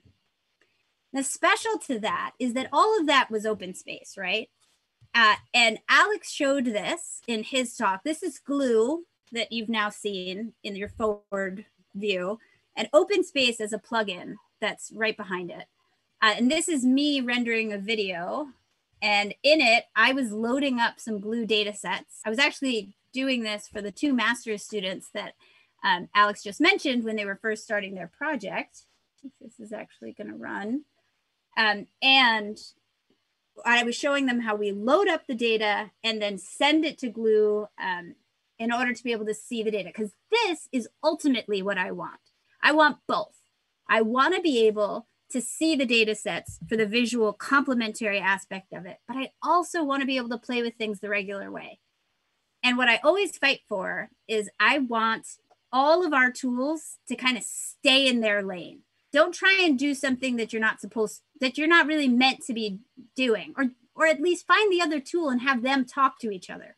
And so that's a great part of what we have done with Glue and Open Space and having them talk to each other. Okay, so end of that is that there are limitations to this, and this is something that we've been working on. The dis like this just came up as a question. I'd like to see the error bars. I don't want to just see. Um, I don't want to just see the positions. I'd actually love to see error cones propagating. because I move time forward and the error bar gets bigger as time goes forward. So that's something I want to work on. I want to add different aspects of motion. I want to see what the potential of the interactions between the stars or the interactions with the, maybe even just the potential of the galaxy does. Um, and so there are software limitations that we're working on, but the, the enhancement to the science is, is huge from my perspective. So the last minute, I want to mention here the following. I take these scientific renderings and I play with them all the time for my own research. I load up anytime I have a new data set because Gaia DR2 has basically changed the face of astronomy by giving us very accurate positions and velocities. I can load any new data set that anybody has either. I sometimes just troll the archives looking for a cool new visualization to just throw up there. I want to see somebody's data set. They said they found a new structure, they found a new velocity perturbation. We put it in there. AMNH has been taking advantage of this since COVID 19 has shut us down. We've taken our content online. And Alex mentioned this that we have been doing these these programs. This is a screenshot of the videos available on the AMNH YouTube. Um, and in it, what you'll see, um, a couple of these that are highlighted here was that a comet mission that was, we posted it yesterday. Um, the field trip comets solar storms, field trip stars, and we typically get one to 2,000 people watching live. A few of us will be in the chat with it. And by the time it's posted, it'll rise 6,000, 7,000, 10,000 views. We've had as much as 40,000 views on some of our most popular videos since COVID 19. Um, so, looks like I've lost my ability to change my slide, but I have two more slides to show you. And that is that um, much of what we do in astronomy at AMNH involves our ability to talk to the public.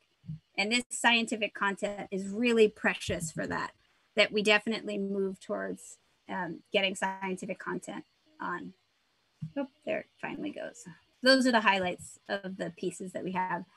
So I'm going to close up here um, as I think I'm out of time and want to leave a minute for question. Um, this is a powerful tool at creating these visualizations with something like OpenSpace and OpenSpace and plus Glue to do your scientific research, but also to generate these amazing educational threads. They can reach students, they can reach general public, kindergarten through 12th grade and beyond. Okay, I'll stop there. Thank you I so much, Jackie. There. That was fantastic. Um, and now we will uh, get ready for uh, Q&A. So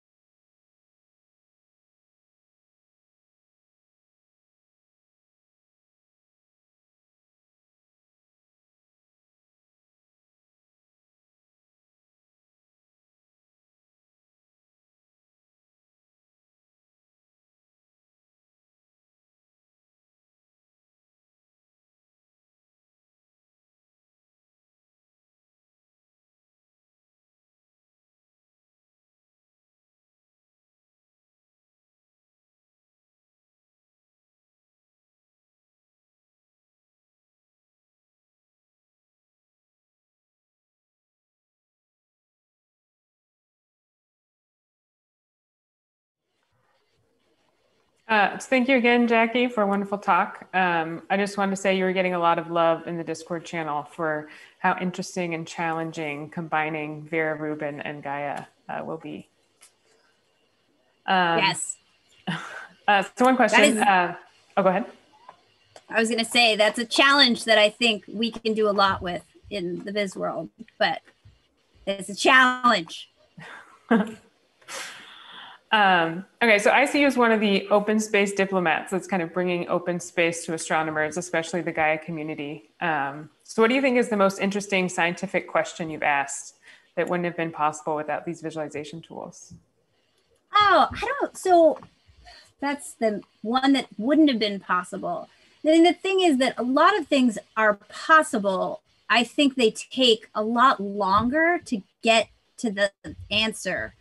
And um, there's things that I was able to see. A good example is actually Alyssa, who came to New York, and because uh, Alyssa is a New York girl and loved the Hayden Planetarium, and so she came. And what we did was uh, we wanted to play with the Radcliffe Wave, which was uh, led by her team, um, João Alves, Catherine Zucker, Alyssa, and we wanted to see it with stuff that I'd been playing with, all the young stars near the sun. We kind of just started playing with it and we plopped them on each other and we just noticed that they they line up, they look good. You can see some structure with one and the other. And then that led us to start discussing scientific collaborations. And she, uh, Alyssa and Catherine worked with a summer student this summer that has an awesome result, which I don't think I should say any more about Alyssa, but it all started with us walking into the dome loading up the data sets, seeing how they line up,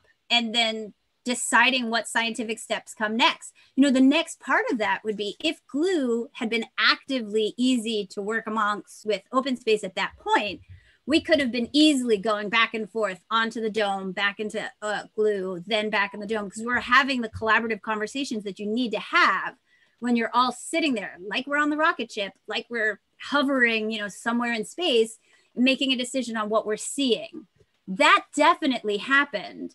And I would say it's a very citable example of how SciViz led to what will be soon a cool scientific result. There's a Very wave. Cool. I can see Alyssa's finger. Um, and then someone had a question about Gaia uncertainties. Um, for forecasting future states of clumps, uh, there'll be some declumping just due to Gaia measurements being imperfect. Can we know or show how long we can watch a cluster before they become important? Yeah, I ask myself that all the time because I run time forward and uh, I work with a lot of stuff that's very close to the sun. So I kind of, I like to say I do spitting distance. It's like the 100 parsec sample, so 300 light years away if you go beyond that, it gets more complicated because the um, the error bars start to dominate, and so it's not just an it's not an easy answer because it's it's very very much relative to you know the signal to noise of the detection and how significant the motion is. I I deal with things that have tons of motion because they're very close by. Uh, and relatively very small error bars because they're bright, they're beautiful astrometric solutions. But if you go out to kiloparsec, two kiloparsecs, three kiloparsecs, now you're you've run out of your ability to do all that much with um, very far forward in time. So it's relative. Um, the three kiloparsec sample, I think, is a is a pretty solid sample. You know a lot about this too, Lauren. We've I feel like this has come out of a Gaia DR2 hack week, the discussions of error bars and how we're um, how we can properly attack them. And I show, I feel like you've shown the best visualizations of that. So. Oh, good. I'm glad. It's a lot of, it's open, op, the power of open space at this is, is not hard to, or is not, should not be under minimized. And there was a student that we should, I don't know, Alex, if you mentioned him, I had his picture in, but Adam Alsegård, who was a master's student at Linköping with um, Alex and another developer, Emil, the two of them, the three of them really made it possible for us to get Gaia on the big screen and Gaia into open space very early on. Um, and for me, it's it's been a career changer because I use it so much to do my science. Very cool. So thank you again, Jackie. Uh, so I realize I think we're like 10 minutes into our break. Um, Correct. Junior Bay, do you want to say something about that? Yeah, so uh, first of all, I just want to thank all of the speakers from this morning. Uh, this is great. I think uh, feel free to go take a bio break, get some food, hang around. Uh, we will start promptly um, uh, with our next talk, and this next session is going to be as exciting as the first session. So uh, please do tune back in after the break, and that is going to be at two o'clock Mountain Time. So uh, please uh, return promptly. Thanks to all the speakers again this morning and keep yes, up the conversation in the Discord chat. Yeah, I think our Discord chat has been extremely live uh, this morning. We couldn't cover all the questions, but feel free to reply to that. And hopefully, um, after the, we also will have a discussion session, which is really focused on how to best uh, build collaborations between computer science visualization expert and astronomers. Um, I think that's one point of discussion. Um, but yeah, we'll see everybody back at 2 p.m. Mountain Time.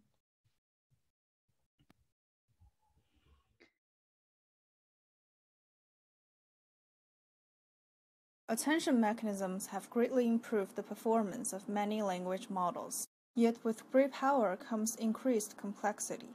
In this work, we present attention flows, a visualization that let users interpret the language model's decisions and gain insights into the underlying self-attention mechanism.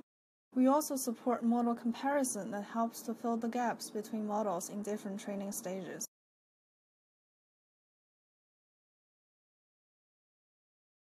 As data is changing, our understanding of data should be updated correspondingly.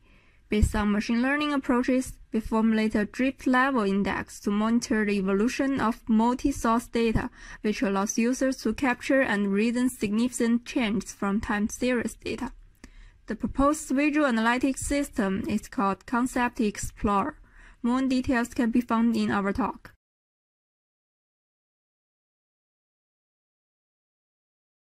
White space surfaces are a novel approach to convey depth in vessel visualizations.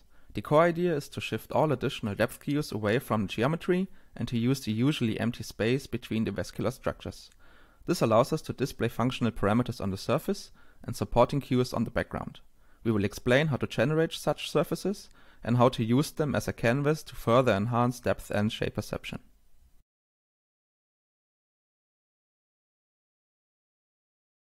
We have seen many visualizations for tree data structures, but when showing changes in trees over time, some focus on displaying hierarchy, while others highlight their changes. With split streams, we combine two approaches and their individual benefits. We evaluated our method in a user study and consider it a general purpose method for the visualization of dynamic hierarchies. Our JavaScript library is openly available.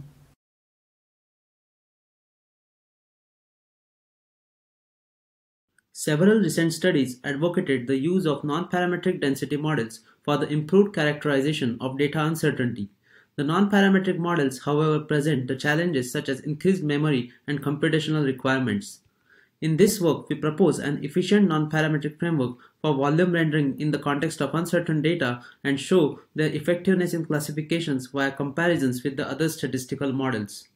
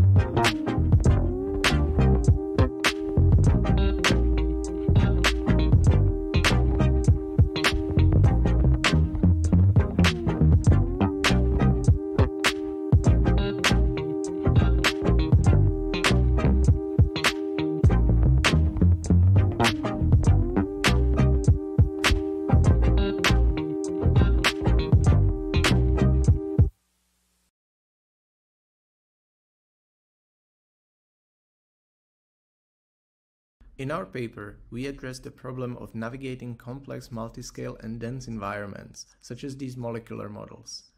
We present a technique for browsing a model by clicking on textual labels, which we call hyperlabels. This allows the user to intuitively navigate the hierarchical organization of the model. For more details, read our paper or watch the talk.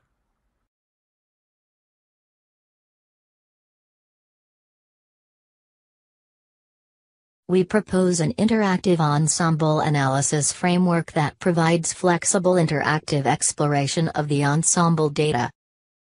Time series characteristics of data can be obtained by fast browsing time steps. The region stability heat map view shows the stability of the selected region and provides region adjustment by directly clicking.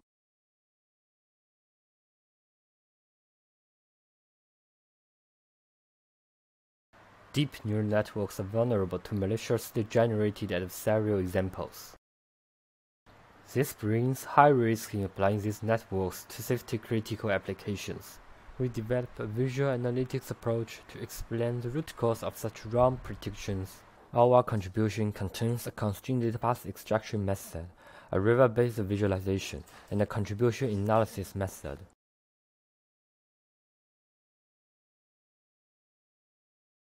Serine graphs are variant of stack graphs with curve line, and the main factor affecting its readability is the sign allurance through a perceptual inconsistency of the orthogonal and vertical direction. Aiming at reducing its impacts, we revisited the baseline formulation and proposed the concept of composition to help the serine graph layout optimization. The result shows that our algorithms perform better than the others.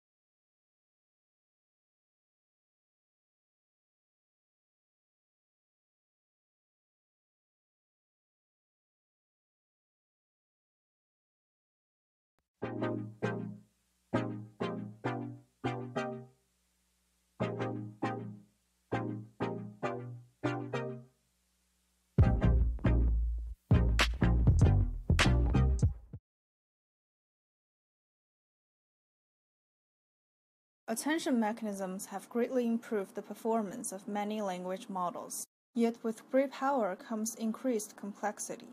In this work, we present attention flows, a visualization that let users interpret the language model's decisions and gain insights into the underlying self-attention mechanism. We also support model comparison that helps to fill the gaps between models in different training stages.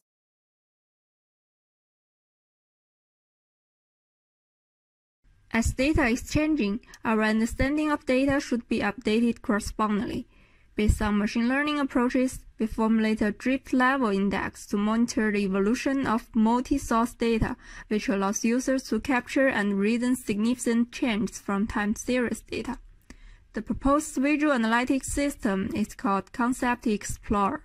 More details can be found in our talk. All right, welcome back, everyone. This is session two of our Viz Astro 2020 workshop. In the second session, we have three amazing talks coming up. The first one is um, is Matt uh, Turk, and he's going to talk about grammar of analysis for volumetric astro uh, astrophysical data. And Matt is a professor at uh, UIUC. And um, among all the other speaker, speakers, he's one of those speakers who work at the intersection of information science and, and astronomy. So Matt, go ahead. Thank you.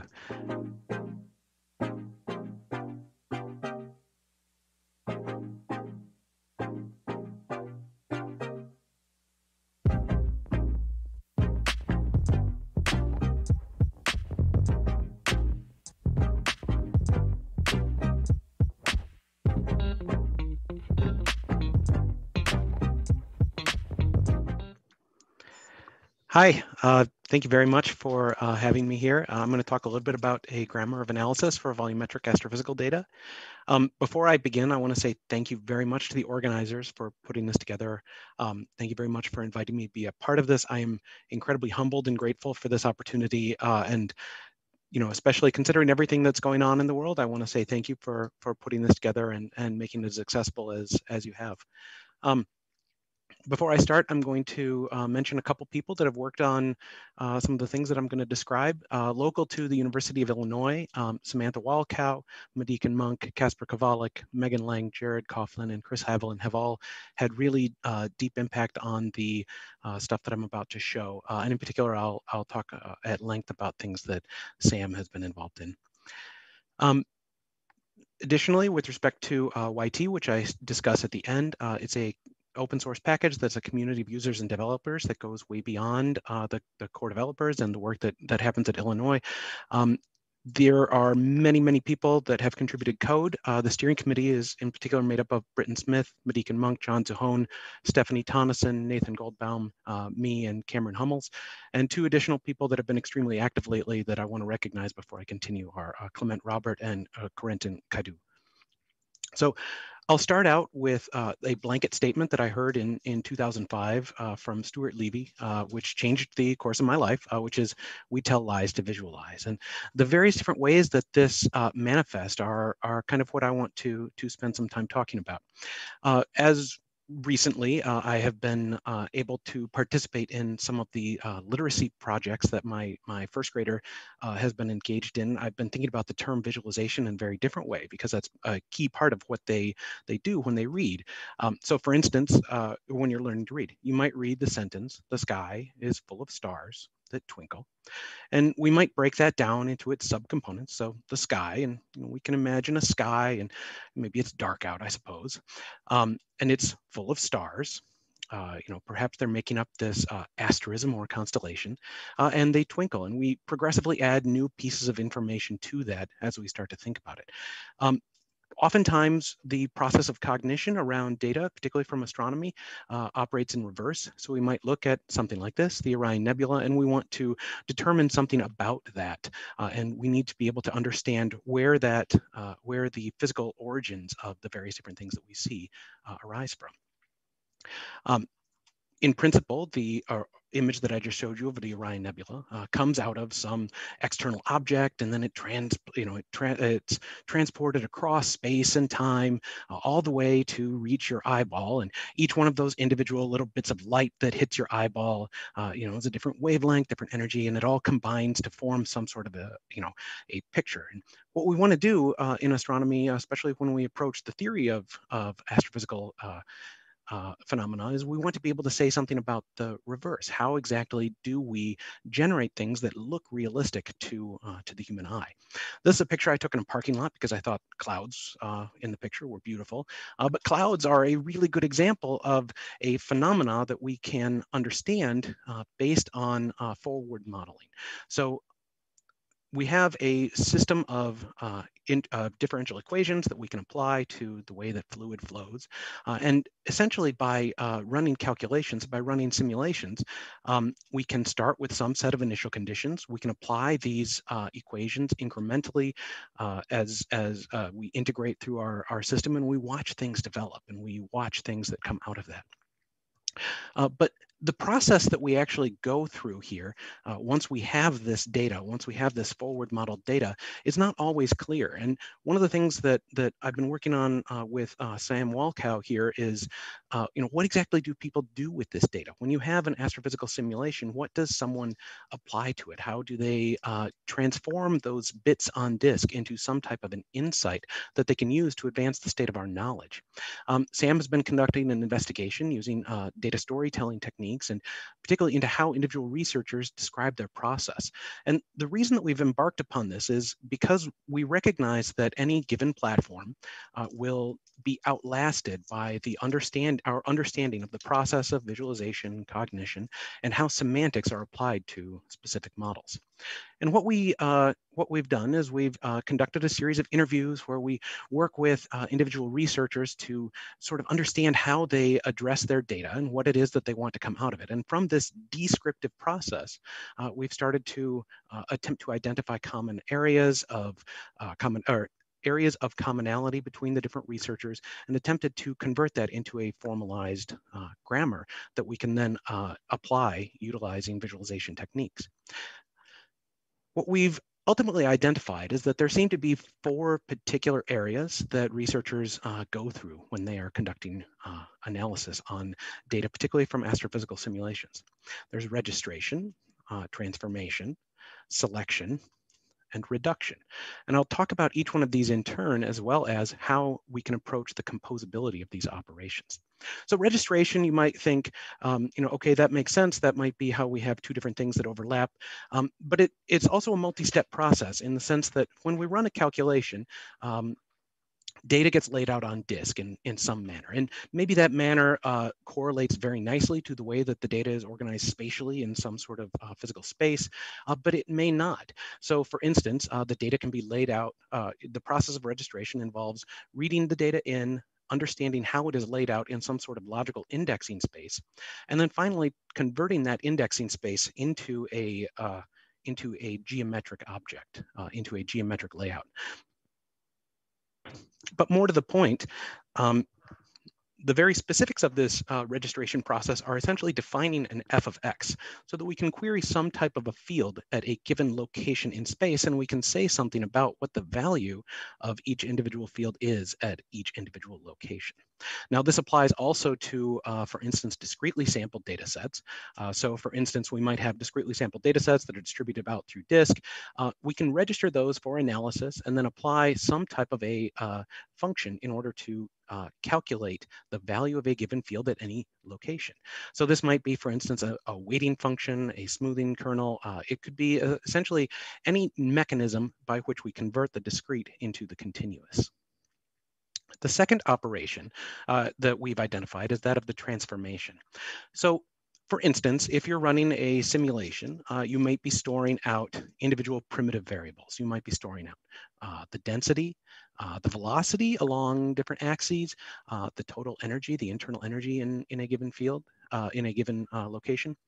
And each one of those fields exists in some sort of a form on disk, but they can also be combined in different ways in order to produce fields that exist in potentia.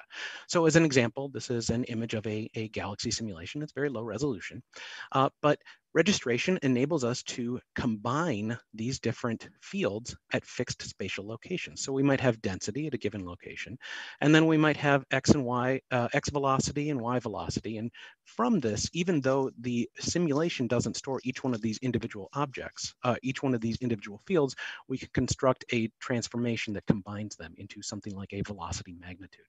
And this can be things like arithmetic operations, uh, local stencils, uh, global stencils, convolutions, and so on and so forth. The next uh, operation that we, we identified is that of selection. And oftentimes uh, we can filter individual points or cells and so on based on uh, characteristics like connectivity, their spatial organization, so perhaps their geometric layout, uh, or the criteria from one or more field values. So returning to our uh, example uh, here, we might have some sort of a spatial field that we can choose and you know we can move it around and then based on the different characteristics uh, inside that field. We can conduct different histograms and weightings, uh, but we can also uh, apply different, we can also apply selection criteria based on the connectivity of things. So identifying topologically connected sets, uh, things like the criteria from different field values. So where something is greater than uh, you know another value or less than another. Now, the uh, final operation uh, is that of the reduction. And so the reduction is where we essentially uh, apply a multi-step uh, transformation and registration process where we can apply reductions along axes, so the maximum value along a given axis, uh, or perhaps we have some type of an integral that we compute along a path, uh, and also where we can remap into any type of non-trivial manifold. So one example of this might be, for instance, if we were to insert a test particle into a, a calculation and we allow that test particle to be integrated, you know, according to some uh, perhaps locally defined or perhaps globally defined or perhaps even prescribed uh, path, and then we compute the values along that. We're now doing a coordinate transformation as well as a reduction where we're computing uh, individual values in some sort of accumulation process. And then finally, we can compose all of these different operations. So one uh, very common task in the uh, way that simulations are conducted in astronomy is to, uh, for instance, compute uh, the halo mass function. So you might want to uh, have an individual set of, of uh, dark matter calculations, and then compute uh, which dark matter particles are nearby to each other, apply some sort of a density threshold to those individual particles, uh, and then uh, based on their locations, uh, conduct some other type of selection, and then ultimately come out with a, uh, a mapping so in this particular case, we've got data that exists on disk. Uh, it's perhaps laid out in an octree, or perhaps it's you know individual particles or something like that. And we apply a registration to this data, which might be uh, irregular, it might be uh, multi-resolution, it may be discretely sampled. And then on top of this, we apply some type of a selection criteria that is based on uh, an individual location, its nearest neighbors, you know, density thresholds, anything like that. Uh, and then we apply reductions onto each one of those individually selected objects. And then we remap them uh, into a different coordinate space where we uh, take a look at, for instance, the, uh, the, the mass count or the mass fraction of uh, individual halos. So how, uh, we do this right now using a platform called YT, which is a volumetric analysis platform.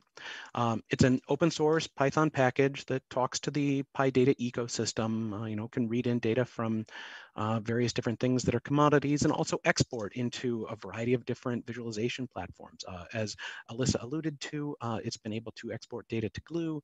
Um, there's also you know mechanisms for uh, uh, displaying via WebAssembly in the browser to do really fast pixelization reduction, uh, pixelization of uh, variable resolution data, uh, and then also integrating with tools like Matplotlib and directly to OpenGL for uh, for uh, multi-resolution AMR volume rendering. But the thing that it that that I want to emphasize is that it supports many, many different data formats, all the way from the very big to the very small. So you can load this up on a uh, any given platform and analyze data. Uh, but there's a common API for accessing data independent of both the data format on disk and also the discretization method of the, say, simulation. So as an example, um, this is a, a visualization courtesy of uh, John ZuHone, where John set up identical initial conditions in uh, Gamer2, which is a grid patch or octree, uh, well, block structured uh, based data format, uh, AREPO, which is in the middle, and Gizmo, which is a meshless uh, particle-based data format. Utilizing the exact same commands, John was able to extract a slice of the density, and now this can be subject to quantitative and qualitative uh, analysis, uh, utilizing essentially this, this lingua franca for uh, different, different data formats. Um, but as I noted earlier, the longevity of any given platform is certainly exceeded by both the research that we conduct utilizing that platform and also our understanding of how research is conducted that we can uh, glean from that individual platform. So what we're working on now, uh, returning to this uh, this uh, project that, that I mentioned that Sam Walkow has been working on, is that we are attempting to uh, understand the entire process from acquisition to analysis and then to application in order to develop understandable information uh, for researchers. And then on top of this, we're working to build out, utilizing the four fundamental uh, operations that I, I identified earlier, a mechanism for describing the uh, outputs. Now we're basing this on, you know, some very uh, outstanding work that was done uh, on volume visualization by uh, Shi uh, et al. Uh, from Davis, Vega-Lite out of University of Washington, Grammar of Graphics, and so on. But I have a and a trivial example here of just generating a set of plots. but the idea behind this is that we want to uh, abstract away the specific API and instead uh, recognize that there's a common set of declarative operations that we can apply to volumetric data. So I want to say thank you. Uh, that is the end of my talk. Um, YT is open source, and I'm very interested in uh, you know collaborations on it. I think the, the rest of the community is as well. And I want to thank again uh, the organizers of this conference uh, and funding from uh, the University of Illinois, the Gordon and Betty Moore Foundation, the National Science Foundation, uh, NumFocus, and, and actually the Foundation for Food and Agriculture Research. So thank you very much, and 15. Thank you, Matt, for your wonderful talk. Um, should we switch back to Q&A?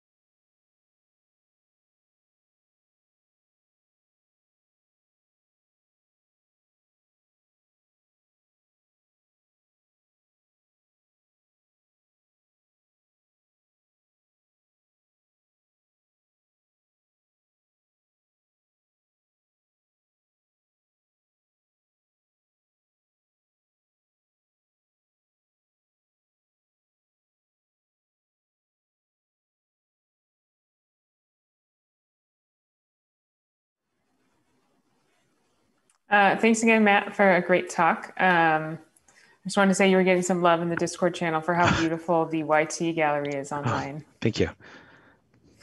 Um, so I see YT as one of the very productive and successful communities uh, in astronomy for building a visualization tool that uh, many astronomers use. So what do you think was the key um, to that success? I think, um, so realistically, I think it was an early mover um, that, that that was a big part of it, that luck was an enormous part of it, that we sort of got in there early. But I also want to emphasize that the the other people that are involved in the community tend to um, like I've been extremely impressed with the way that that the folks that I collaborate with um, are in general kind-hearted, thoughtful, energetic and excited. And it's really been one of the, the greatest pleasures of my life to work with uh, the folks in the community. That's awesome. That sounds very similar to Alyssa's response. I feel like earlier on, where it's really just about the community that you're building and the individual people. Thank you. Um, so we have a question from earlier, but I feel like you might be able to speak to this. Um, so how much of this, uh, just kind of like building of our own tools um, in DataViz is taking us away from the direction um, of DataViz today? He says, I mean, specifically, there are so many new feature-rich tools being developed and used by the larger DataViz community, primarily for HTML, JavaScript, and CSS stack. How much does developing our own tools keep us from leveraging the fantastic work being done outside our community? So I I don't know that I'm qualified to say how much it, it keeps us from that, but I will say that I am extremely excited about the HTML stack and like um, I got to work with uh, Munk at the University of Illinois, uh, as well as an, an undergraduate Nathaniel Clausen, um, on building out tools utilizing a variety of different things in the, the HTML ecosystem. So, you know, pushing WebAssembly uh, for um, for pixelization and, and, and things like that. And then it was just amazing to me both um, simultaneously how frustrated I was with uh, with uh, understanding how JavaScript packaging works, but that's more on me. Uh, but also the the incredible excitement with with being able to utilize all these really awesome tools that are uh, you know honestly I think that the operating system that runs inside our web browsers is the most powerful thing that we have for science communication uh, in the sense that uh, everything from mobile devices all the way up uh, seems to be able to, um, yeah, I, I'm just really excited about that. So I, I actually would really like to see a lot more of that. Cool. Do you see that being integrated into YT maybe? I hope so. I hope so. Or I hope to see YT integrating with tools that that do that, like like Jackie, uh, uh, Dr. Faherty uh, alluded to. You know, the notion of of tools doing what they do and when working in an ecosystem. Awesome. Thanks, Matt. Thank you. All right, I think we are ready to switch to the um, second speaker.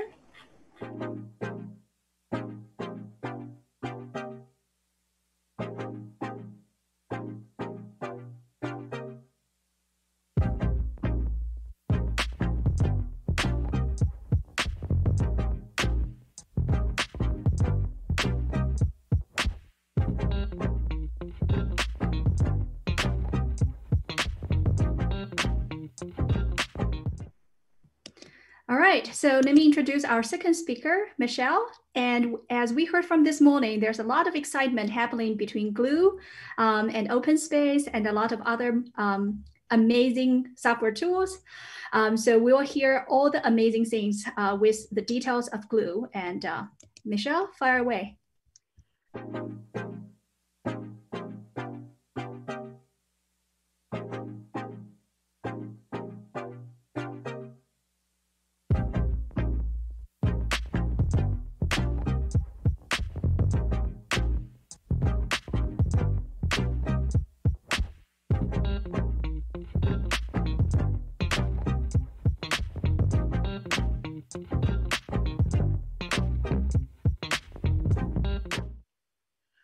Thank you so much for that introduction. It is such an honor and privilege for me to be here, and I'm so excited to see astronomy visualization at Viz becoming more and more prominent.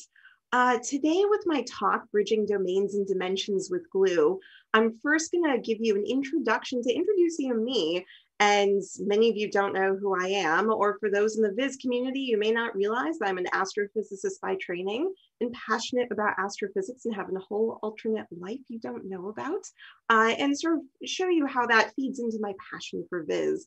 And astronomy has such incredible data, and we're seeing this with all these other talks, diverse data, variety of data, big data. And I'm hoping that those in the audience who are coming from the more traditional Viz background will be sort of enticed to go talk to their local astronomy colleague after the workshop today in my talk and show some more interest. And there's so much potential for collaboration between these fields. And finally, as I've been introduced a few times over in these other talks, yes, I will be talking about glue and like giving you a little more details about that wonderful piece of software. Oh, why isn't this progressing? There we go. So, my origin story I love astronomy. And here I am, age 15, building my first telescope. It's a six inch Newtonian reflector. uh, and that passion has not gone away. I do astrophotography. Here's some photographs from my own backyard. And as an astrophysicist, love doing research in radio astronomy and have a background in doing protostellar outflows in disks and looking at young cores and young stars and star forming regions. Here I am at the Green Bank Radio Telescope uh, in West Virginia, just after I graduated from college. If you didn't know, it's the largest freestanding radio telescope in the world. And to give you a sense of scale, in that photo, the telescope's about a mile behind me. That thing is almost as large as a football field. It's really impressive. So I had a trajectory majoring in astronomy and physics in college. I was going to be an astrophysicist. And then I had an undergraduate thesis to write. And it turns out, well, I had a lot of data and I needed to visualize the data. And I had no tools to do this kind of thing. And long story short, I ended up learning image registration and segmentation and volume rendering and isosurfaces and discovered this thing called visualization. And I decided not to go astronomy graduate school. I needed to learn more about this and learn these tools and skills and took a couple years to be a research assistant at the Initiative in Innovative Computing at Harvard and focused on computational physics and data visualization, learned everything I could about it.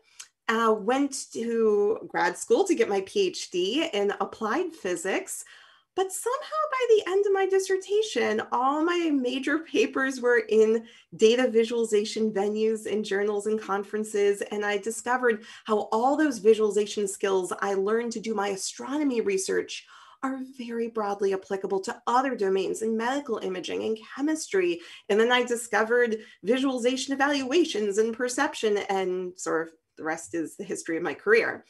After graduating from Harvard, I did a postdoc with Tamara Munzner and then joined the faculty at Northeastern University. And now I sit here for you now in this picture.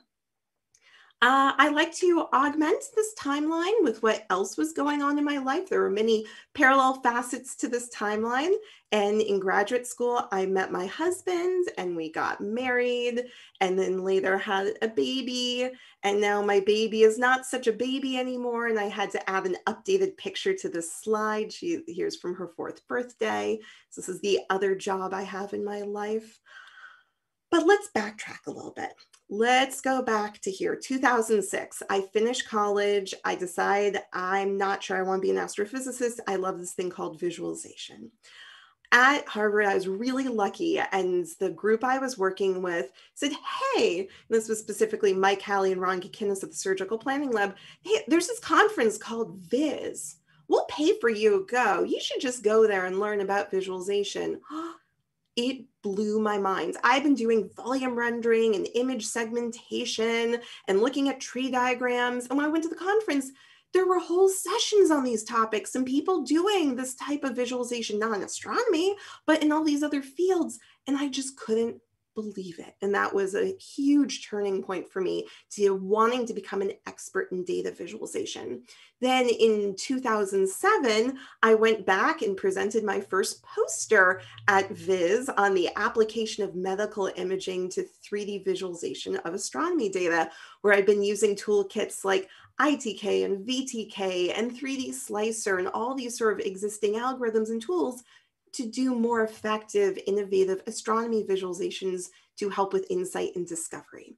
And for those watching and in the audience from the Viz community will appreciate this photo of me presenting to Jim Ahrens. And I'll just give a little plug here about how important the poster sessions are at these conferences and at Viz and what impact they can make. And it was Jim, along with other people, including Chris Johnson, Gordon Kindlmann, Kwan-Liu Ma, David Laidlaw, my future PhD advisor, Hanspeter Pfister, my future postdoc advisor, Tamara Munzner, who stopped by and it was so influential, validating my work, expressing an interest in the astrophysics work, and sort of making me feel welcome by the community and sort of confident in my decision to say, hey, I should learn a little more about this. But let's go back to my 2007 poster from Viz. I'm going to make this a little higher resolution here. And you'll notice a lot of the types of elements of visualizations we've been seeing in the talks today, issues of 2D images, 3D representations, volume rendering versus isosurfaces, annotations. How do you compare different data, large data, variety of data? Most of this work I was doing and still do is focused on exploration of data with visualization, but there's also a huge component here in communication and not as much my expertise, but we've seen some wonderful examples in the talks today in this workshop also about communication for the public and education. Now I'm going to zoom in on one part of this poster, and we've been talking a bit, especially uh, Matthew Turk in the talk before me, about simulations, which play a pivotal role in astrophysics research. Where in the top here we have observed data from a real telescope, but on the bottom it's a simulation, or it's a simulated observation through radiative transfer of a simulation. And we need to have effective ways to compare these models and theories to the real data. Now, I'm going to change the colors of this isosurface a little bit to make it easier to see. This is the L1448 region of the Perseus molecular cloud, which Alyssa Goodman showed in the keynote earlier, and it's one of my favorite regions. And here's a 3D representation of it. But astronomers, you know, when I work with astrophysicists in my own research and interviewing dozens of others, I've observed and looked at them. They have 2D representations they care about. This is an infrared cloud shine image of the same region. You have hierarchical representations. This is a dendrogram showing the self-gravitating clumps of gas and dust in this cloud to form stars. Uh, here we have metrics to compare the observed L1448 region to a simulation. And what astronomers really need to be able to do is look at all of these things and have an environment where they could brush between them and explore. Now, Turns out lots of other domains have this kind of problem. I, in my research in medical imaging, it's the same thing. The cardiovascular researcher wants the 3D representation of the heart, the CT scan, an abstract representation of those arteries that makes it more effective for diagnostics, and then simulated or real data about the flow of blood in that heart. And this sort of uh, canonical framework is across the imaging sciences and parts of science. And it's sort of, it's important in astronomy, but it's also not unique in many ways to astronomy. And now, this will be Data Viz 101 for the Viz audience, but an important effect to make this work for analytics is brushing and linking. And Alyssa Goodman mentioned this in her keynote. Here in red, I want to be able to select voxels in that 3D representation and see the equivalent points in the other representations. So I'll label this as linking. But this is easy when you have a table of data, or for those of us, I love Tableau, who work with Tableau, it's Excel files, it's tabular data. But this is incredibly hard when you have data from different sources, uh, uh, different dimensions, different scales. How do you do this linking? You have to glue the data together. You have to do the data management on the back ends. And a lot of times with these green annotations here, the variables are not the same. Uh, now, it wasn't until I did my postdoc with Tamara Munzner that I was able to sort of take a step back and think about this because I sort of in it a bit as that domain scientist, but take that step back and think about it from the Viz perspective. And we toiled over this to identify what was it that we did, we're doing, and where to go next. So I'm going to switch back to L1448. It makes it easier for me to think about this with the real numbers here and the real variables. But here are a few of the big challenges dealing with this data. First off, this 3D representation is not three spatial dimensions. One of those dimensions is velocity. And for astronomers out there, it's a PPV cube, position, position, velocity, very common in radio astronomy. And that's not always an intuitive thing for doing brushing and linking, depending on your other spatial dimensions.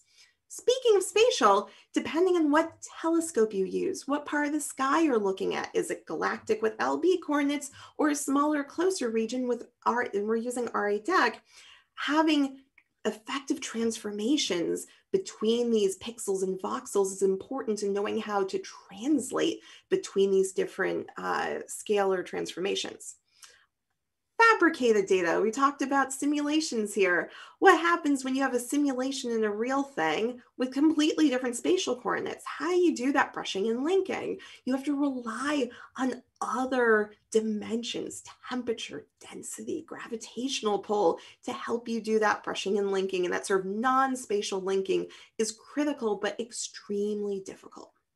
So this was the picture back in 2012, we were looking at, and a group of us at Harvard, namely Alyssa Goodman, Chris Beaumont, Tom Robitaille, and myself, started kicking this around that we really, really wanted this. We needed this. This was hard.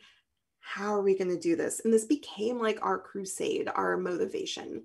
So here's one of the very first fleshed out demos of what became Glue.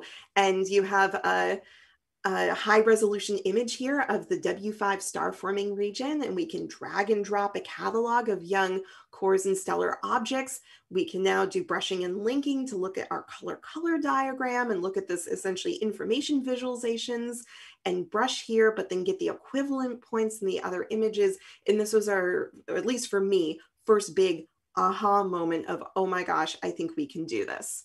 So this is glue, and I know the links have been posted in the Discord channel, but here's the link again. And we are uh, what starts for a huge, incredible interdisciplinary team. I'm really here representing a massive team of astronomers and computer scientists working together to work with this multidimensional data and make it easier for scientists to find insights in their data. And I would be remiss if I did not mention, what Alyssa had, that we are an official visualization toolkit for the James Webb Space Telescope, and we are heavily funded in part by NASA and the NSF.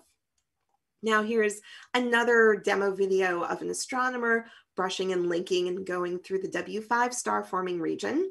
But let me show you some other domains. Here we have some geoscience and we're looking at earthquakes around the globe. It's a 3D visualization on the left and we can do brushing and linking. It's gonna show the points over in 3D. We can also do selection in 3D and get that brushing and linking back into 2D.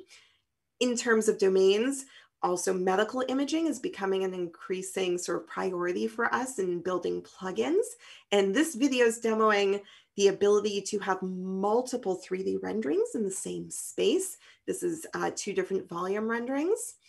Uh, and if UIs are not your thing, that's fine. You can type this all in Python, either in our terminal window as part of the glue, separately and load the scripts in, uh, in other experimental forms and it's it was really important to us to have this based on our system's requirements and interviews. It's both so you can have complete control over your data and what you're doing astronomers like this but it's also for scriptability batch processing and reproducibility and finally, we've already seen, I could, couldn't have led it better with everyone showing these wonderful demos of OpenSpace with glue and mentions that we are working at YT with glue. Here's Worldwide Telescope inside of glue and trying to build this ecosystem of not just gluing data sets together, but gluing tools together. That glue is not the be end and all perfect tool. There's other things like YT to do better rendering and Worldwide Telescope's incredible and we can build bridges to these other more specialized tools. In here you can show, see brushing and linking, identify points of interest in a plot in glue, and now it's being uh, represented in worldwide telescope. We're gonna make it a little darker blue so you can see it better. You can rotate it around. So starting with astronomy, we really engineered this from the ground up to ultimately be broadly applicable and interdisciplinary. And we're so excited to see that happening, as well as continuing to be robust in the visuals in the astronomy community. And I hope that my talk, as well as the rest of this workshop, will convince you of the richness and variety and incredible data that the astrophysics community has as a rich testbed for the visualization community, but also the visualization community has a lot to learn. The astronomy community has been doing fantastic imaging and visualization work, and I think there's a wonderful bridge and dialogue that can happen between these two communities. Uh, so here's some contact info and a link for glue and I'm happy to take some questions and I'll hang around in Discord even after the Q&A is done. Thank you.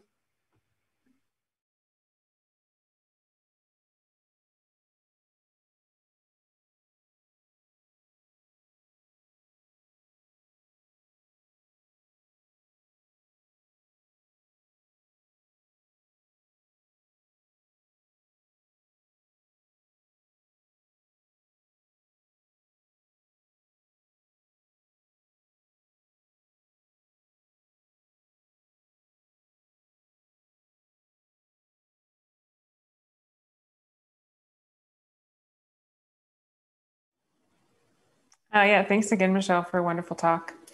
Um, I feel like with your background, you're kind of in this great position to help build this kind of dictionary or vocabulary we've been talking about between the visualization and astronomy communities. Um, and it feels like you've spent a lot of time building uh, this vocabulary as well as the tools connecting the two. Um, are there visualization tools available or in development that astronomers still aren't using or don't know about? Or on the flip side, are there um, astronomy data sets you think would be very fruitful for the visualization community that they just don't know about? Yeah, so I think the answer is yes to both.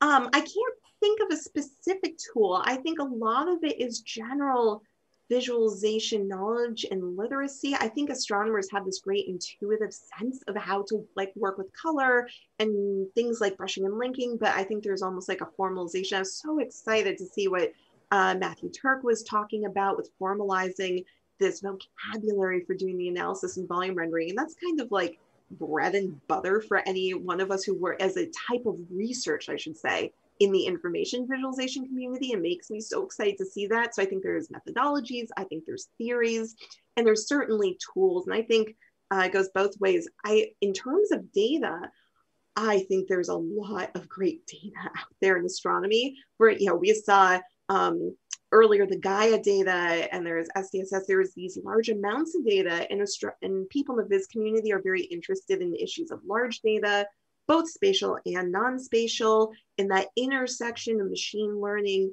with visualization. And there's been a lot of great work. I think of some of the citizen science work in the Zooniverse work in astronomy. And I think the Viz community just doesn't know that. And this could be incredible data sets for them to play with and build off of and be challenged. Very cool. Thank you, Michelle. Oh, sorry. I thought we had another question, but it was just a comment on how awesome your talk was. thank you. yeah. So thank you, Michelle. So um, great. So yeah. Um, so we have one our last talk for the session. Um, so let me know, Technician G, when we are ready to go.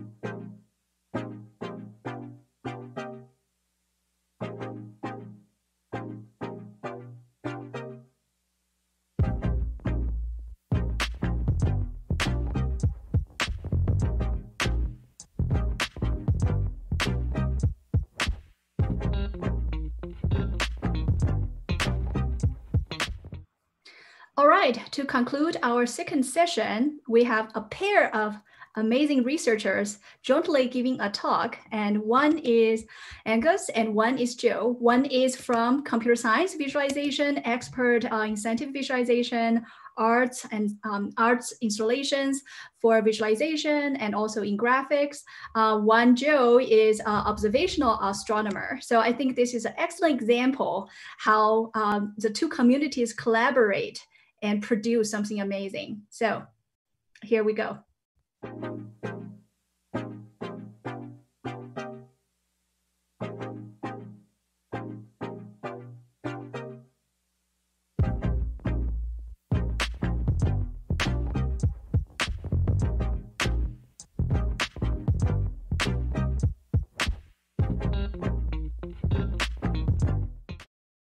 Hi, I'm Angus Forbes, an associate professor of computational media at UC Santa Cruz. I'm here with Joseph Burchett from the Department of Astronomy at New Mexico State University. Today, we're going to talk about a series of interactive visualization projects that investigate intergalactic and circumgalactic media and which have been used to provide new insight into the structure of the cosmic web. These projects developed out of an ongoing and productive interdisciplinary collaboration between astrophysicists and computer scientists. I want to start this talk today by briefly mentioning the focus of the visualization research at the UCSC Creative Coding Lab and highlight our approach to collaboration. And then I'll hand it off to Joe to discuss the three interactive visualization applications themselves, IGM-Vis, CosmoVis, and Polyphorm. And by the way, Polyphorm will also be presented by Oscar, by Oscar Elek in greater technical detail on Thursday morning during the Planets and Space paper session. At the Creative Coding Lab, part of our research is to develop novel ways to represent and analyze complex datasets and especially dynamic networks. We collaborate with scientists to, to design visualization tools to make it easier to reason about their data. In the past, we have worked with systems biologists, material scientists, and neuroscientists, and now astrophysicists, to create specialized visual analysis tools. I believe there's an enormous and essential opportunity for data scientists and visualization researchers to collaborate with domain scientists on quote unquote big data projects.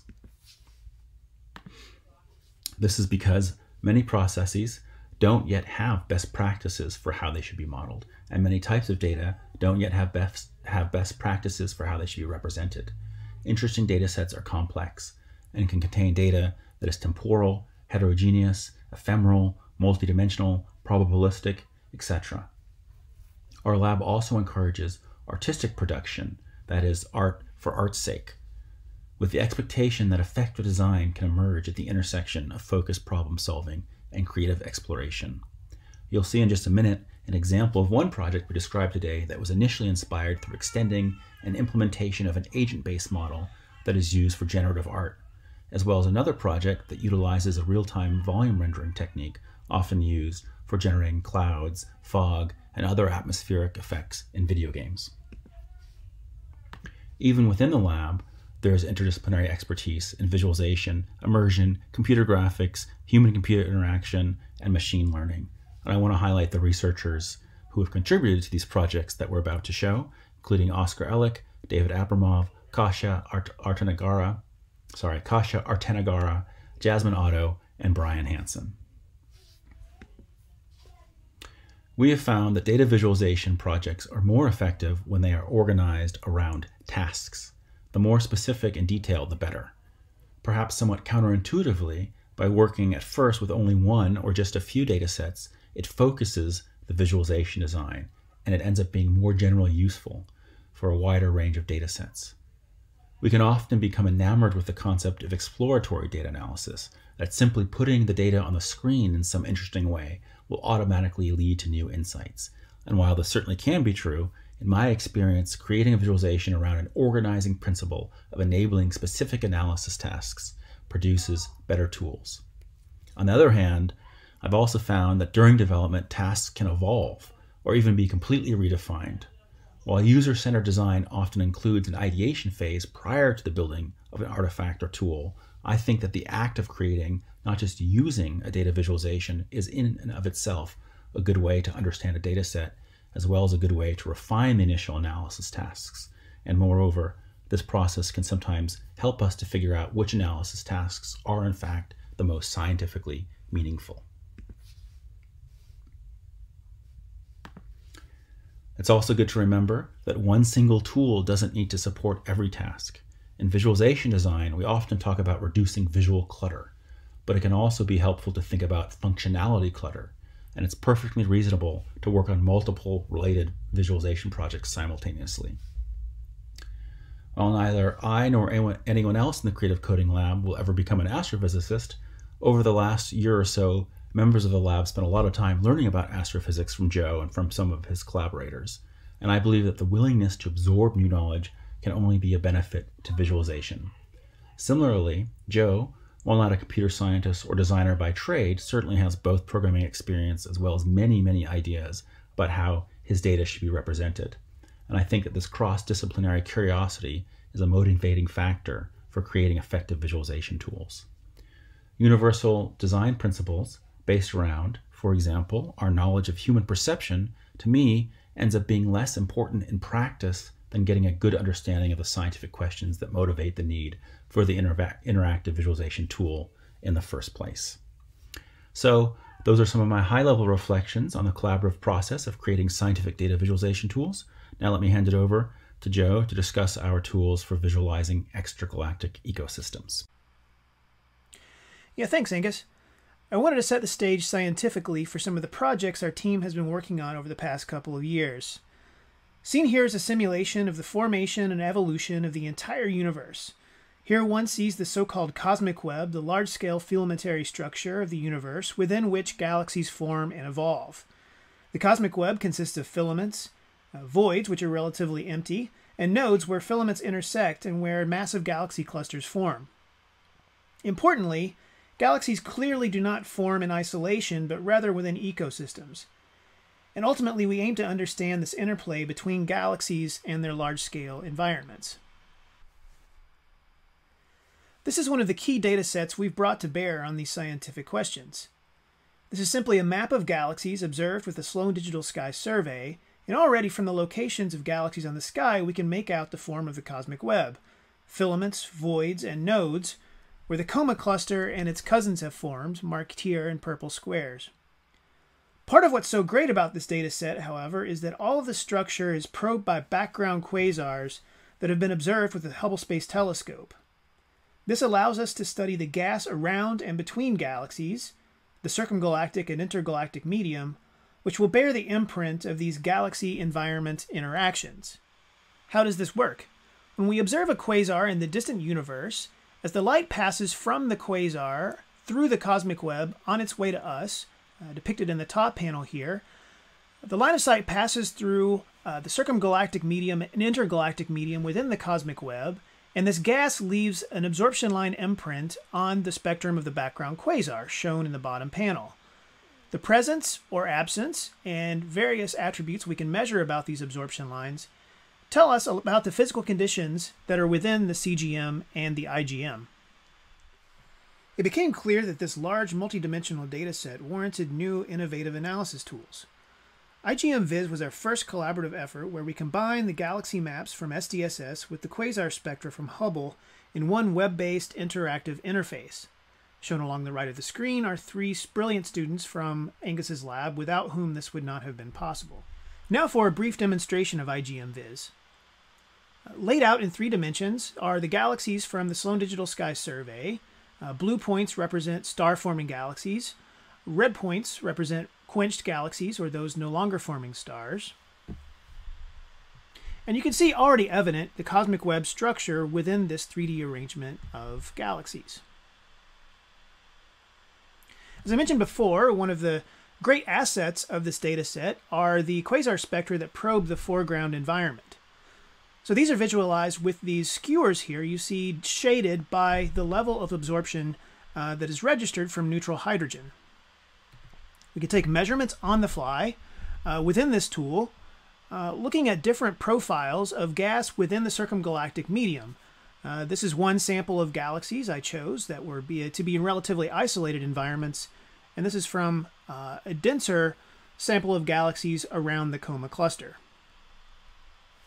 Already from this exploratory analysis, we can see the impacts of the large-scale environment on the circumgalactic medium noted by all of the upper limits, non-detections of neutral hydrogen uh, found in the quasar spectra. However, we wanted to characterize the cosmic web environment a bit more rigorously by quantifying the filamentary structure. We aren't the first to try this, as I show two approaches here, a geometric construction approach on the left, and a density kernel-based approach on the right. However, neither of these was entirely suitable for our analysis, so we sought the help of a rather unconventional friend. Meet the slime mold.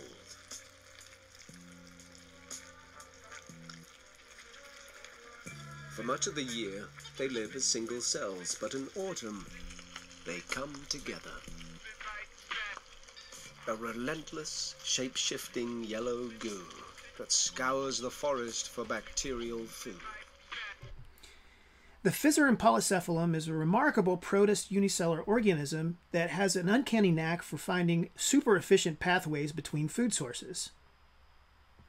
In the lab, the slime mold has been used to, for example, solve the travel and salesman problem, as well as reproduce the uh, Tokyo railway system, as you see here in the bottom right.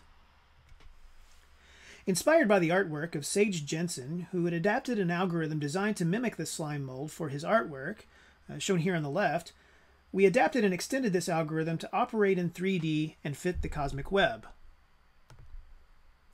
Oscar Elek, who has done most of the uh, development and adaptation of this algorithm, uh, has a paper here at VIS, uh, is giving that on Thursday, so uh, be sure and check that out um, and talk to him about more details uh, regarding this algorithm and its implementation. So let's see the Monte Carlo Physarum machine algorithm in action. The 3D galaxy distribution shown in red, serve as food sources for the Physarum agents, shown in white, that are swarming through the volume. The agents settle into paths that trace the underlying large-scale structure.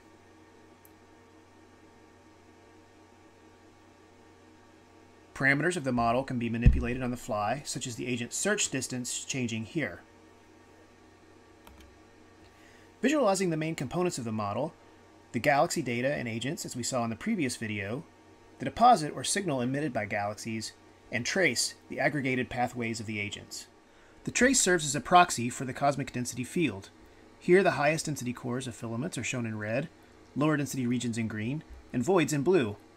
As the quasar spectra pierce this volume, we can assign a local density to each pixel, coupling it to the hydrogen absorption signature in that pixel. Repeating this analysis for all of our quasar spectra, we aggregate the absorption signature as a function of local cosmic web density. Indeed, we find three density regimes reflected in the intergalactic medium. Voids, where little or no absorption is present, the interfilamentary gas, where the absorption monotonically increases with density, and the highest density regime, where the gas is likely shock heated and over ionized, reversing the increasing trend seen in the previous regime. We dub this onset of absorption the edge of the intergalactic medium. We have since employed MCPM to characterize the large-scale structure along the line of sight to a fast radio burst, and are continuing to use this framework towards better understanding the galaxy environment connection. Lastly, we'd like to introduce CosmoVis, a visualization and analysis tool for cosmological simulations that we believe will revolutionize how astronomers and the general public alike will think about the cosmic web. Volumetrically rendered are the dark matter in purple and intergalactic gas color coded by temperature. The stars within galaxies are rendered as particles. CosmoVis will host several simulation datasets, seen here as the Eagle 25 megaparsec box, and allow users to freely explore these simulated universes in three dimensions and produce synthetic observations just like we might obtain with Hubble. Several tools within the visualization interface allow the user to focus in on certain regions of the universe that may contain interesting features, for example, in the gas distribution as seen here in the circumgalactic medium.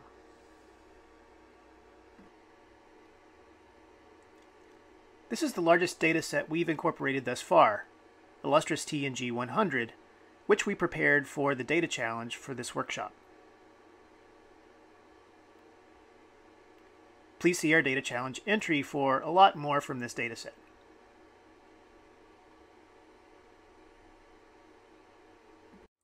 Please stay tuned, as CosmoVis will be publicly released early next year with the initial batch of simulations with many more to follow.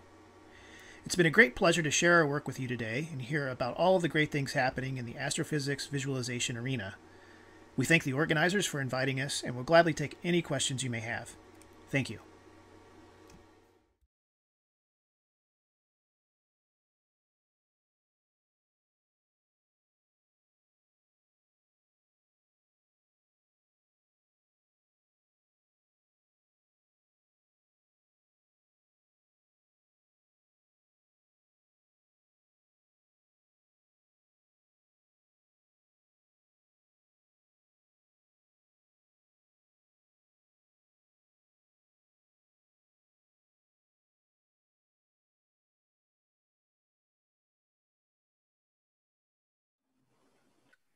Uh, thank you again, Joe and Angus, for that awesome talk. Uh, we have a question from Juna. Um, she wants to know, how do I launch a project into the Creative Coding Lab? Um, Zooniverse, for example, was a citizen science platform born from SDSS and inspired, uh, she believes, by SETI at Home. Is there a Vizverse? Uh, I'm not sure if there's a Vizverse that covers um, every possible visualization that's out there, but there are certainly surveys that uh, various folks in the visualization community put up for different sub areas of uh, data visualization and scientific visualization. Um, and I believe uh, Bei Wang, one of the organizers of this uh, workshop, is preparing a survey for, for in the future. Um, to get involved with the Creative Coding Lab, you're welcome to reach out to me. We're always looking for interesting data sets. And as you've just seen, we're especially excited about astrophysics uh, data, which we find um, challenging and pushes our boundaries of, in, in, terms of how to represent data at such large scale and how to um, encapsulate relevant tasks that actually help uh, specific uh, uh astrophysicists. Um, I guess speaking to that, another question is any thoughts on applying CosmoVis to network visualization? Um, I think that's a great idea. As I mentioned um, in the beginning of this talk, I tend to work best when I have a, a, very, or my lab tends to work best when I have a very clear focus. But um, it does seem to happen that once you develop a technique for a specific data set, that then you can start thinking about how to apply it to other data sets. So we're um, very interested in looking at other data sets, especially network data sets. And in fact, Oscar Elek and my student Henry Zhao presented a paper at Viz for Digital Humanities yesterday using the Polyphorm algorithm, which again was developed precisely to look at these astrophysics data sets, um, especially simulation data sets, and applied it to looking at language embeddings, looking at an NLP task using this reconstruction model. So that's kind of a fortuitous um, event that uh, arose after conversations with a uh, linguistics professor here at UC Santa Cruz. So we do think there's other opportunities to use these techniques for uh, other data sets. Yeah, and I would say, just say that the Monte Carlo Physarum machine algorithm uh, is in is in some ways a um, you know an, an, alternative to some of the uh, traditional uh, uh, algorithms and so forth developed to do network analysis um, on data sets. And so, um, so I think yeah, just bringing all of that full circle with our tools, Polyphorm, um, and perhaps um, you know however we could uh, work you know, the results of such network analysis into a tool like CosmoVis, uh, one, um, one particular problem we're trying to solve now is, is um, filament identification uh, within the cosmic web. And so um, I think drawing on a lot of, um, of, of, network analysis concepts and such we'll, we'll be employing um, and doing that. And, and, and I think all of that is, is definitely ripe for just, you know, directly um, transferring over to these uh, other uh, visualization interfaces. Awesome. Thank you, uh, Joe and Angus, uh, for a great talk. Thank Thanks. you.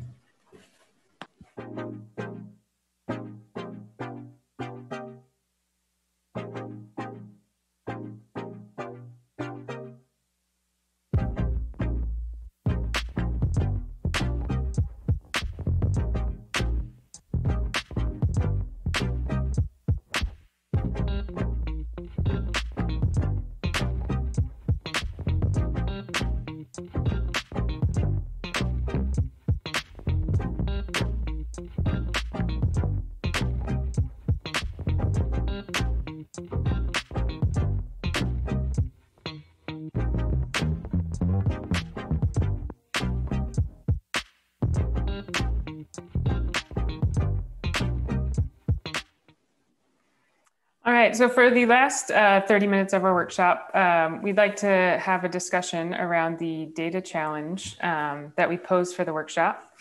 Um, and so the inspiration for this uh, data challenge was to both encourage more collaboration between the visualization and astronomy communities um, and to kind of help build this vocabulary where more Viz folks would understand the astronomy side and more astronomy folks would understand the visualization side.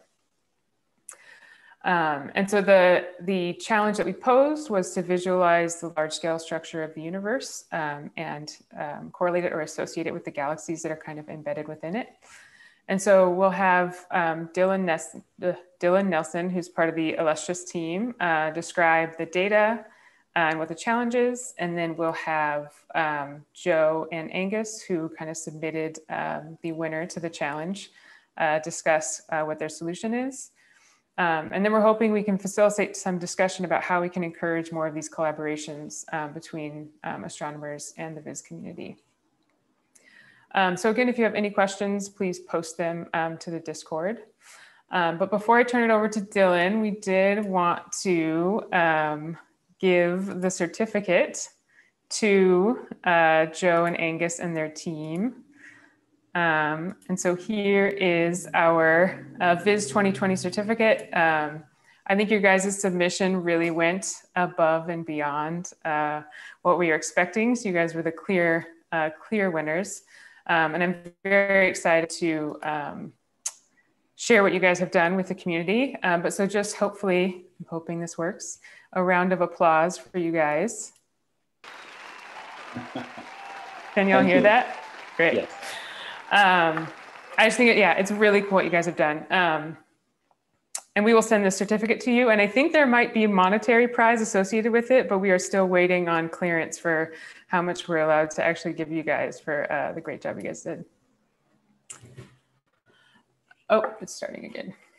Um, okay, so Dylan, uh, do you mind taking it away and just give us an overview kind of of the data and the uh, challenge that you posed? Absolutely, yeah. Can you guys hear me okay? Yes. Then I will share my screen, find some slides, and get rid of that. You can see that okay? Yep, looks good. Great, yeah, thanks. So I'm Dylan Nelson, and Lauren asked me just to talk for three or four minutes and uh, tell you what, uh, tell you something about cosmological simulations, their data and uh, visualization opportunities, and they are super cool. Is the short answer. So the one way we like to phrase this is that a cosmological simulation is a universe in a box. And our goal here is really to create a synthetic virtual universe, which is so realistic that you cannot tell it apart from the true universe. So I'm not going to go into any science here, but I want to tell you our motivation, right? So we're, we're working within this lambda cold dark matter paradigm of how structure forms, and we want to develop a model for galaxy formation and how galaxies evolve over time. We want to do that from uh, for all galaxies, which are actually observed in the true universe, from these very small dwarf galaxies all the way up to galaxy superclusters, the most massive uh, bound objects in the universe. And we want to do this across all of cosmic time from essentially the beginning of the universe down to the present day. And, and a really powerful tool to do that is what I'm calling here these cosmological hydrodynamical simulations. And cosmological, I mean that the initial conditions of these simulations are based on lambda CDM, that these are very large, uh, statistically representative volumes. And hydrodynamical means these are not just gravity only or dark matter only simulations, they also simulate gas, stars and black holes and all of the uh, messy physics which goes along with that. So keep in mind that galaxy formation as a, as a problem is, is pretty difficult and it's very multi-scale, which means it has a very large uh, range, dynamic range of spatial scale. So from uh, gigaparsec scales here, where the universe is homogeneous, down to megaparsec scales of individual dark matter halos, down to kiloparsec scales of a galaxy, and down to sub-parsec scales for the physics going on within that galaxy, we have this enormous uh, opportunity to simulate and to visualize what's going on uh, in this rather complicated problem. And so uh, a recent example of a cosmological simulation, the kind of current state of the art, is the Illustris TNG project. And what I'm showing you here, this image is kind of the family uh, portrait, the family picture of the project. It's made up of these three simulations, which we, we lovingly call TNG 50, TNG 100, and TNG 300, which just tell you how big of a simulation they are. And, and keep in mind, so this, these are large uh, computational projects. As a whole, this effort took about 200 million uh, CPU core hours.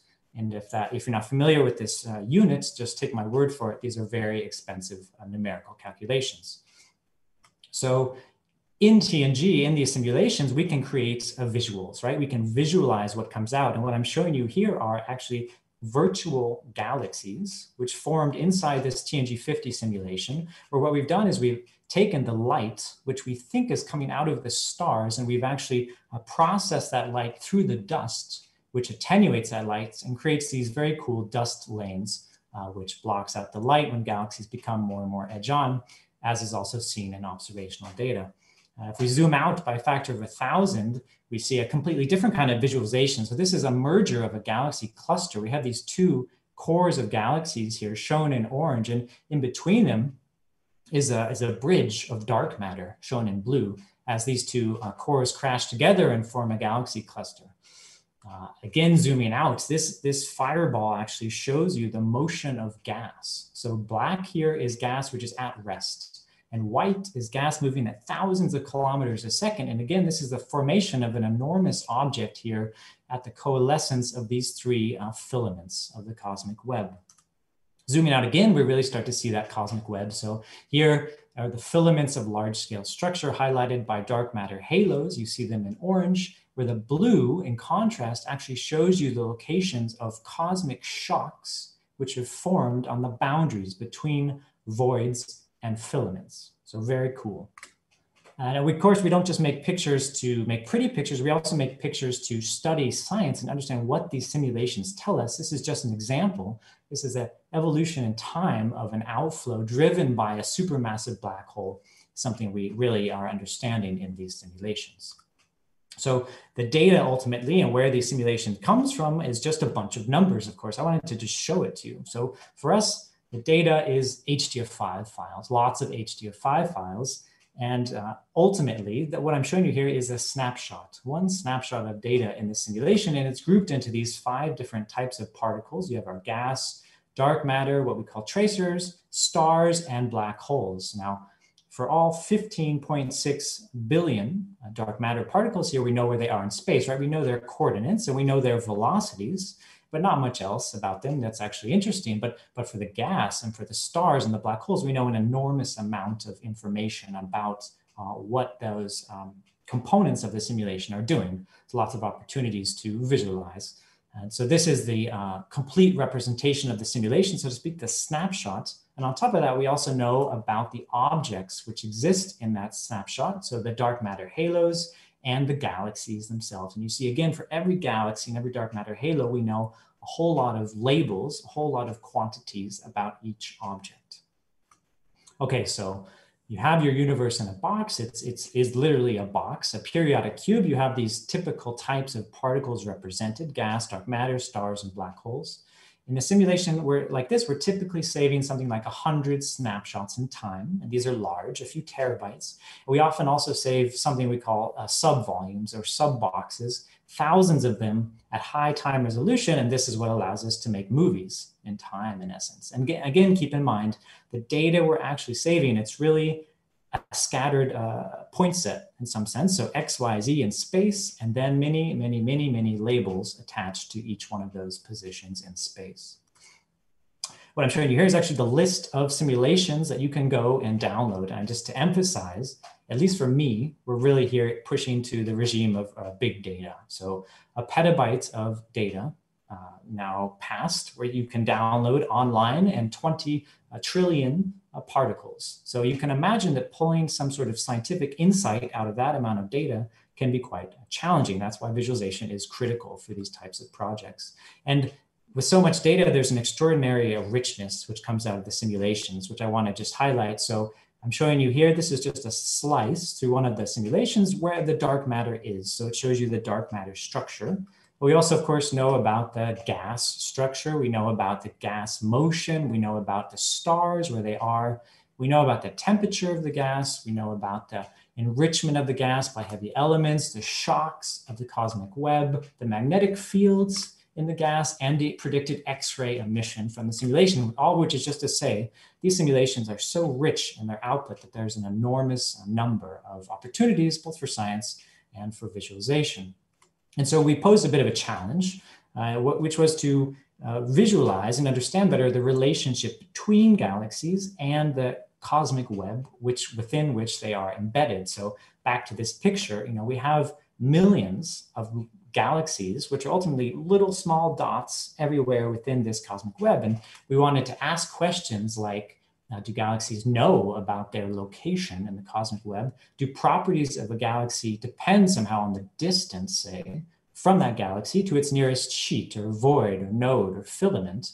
And for instance, if a, if a galaxy looks like a disk and it's thin and rotating, is it spinning in a direction which is aligned with a nearby filament? Um, and yes, so this data is all public. I really encourage you to check it out if you're interested. And it's always great to see uh, what people come up with and what visuals they come up with from such large and uh, rich data sets. So I'll stop there. Thanks. Awesome. Thank you, Dylan.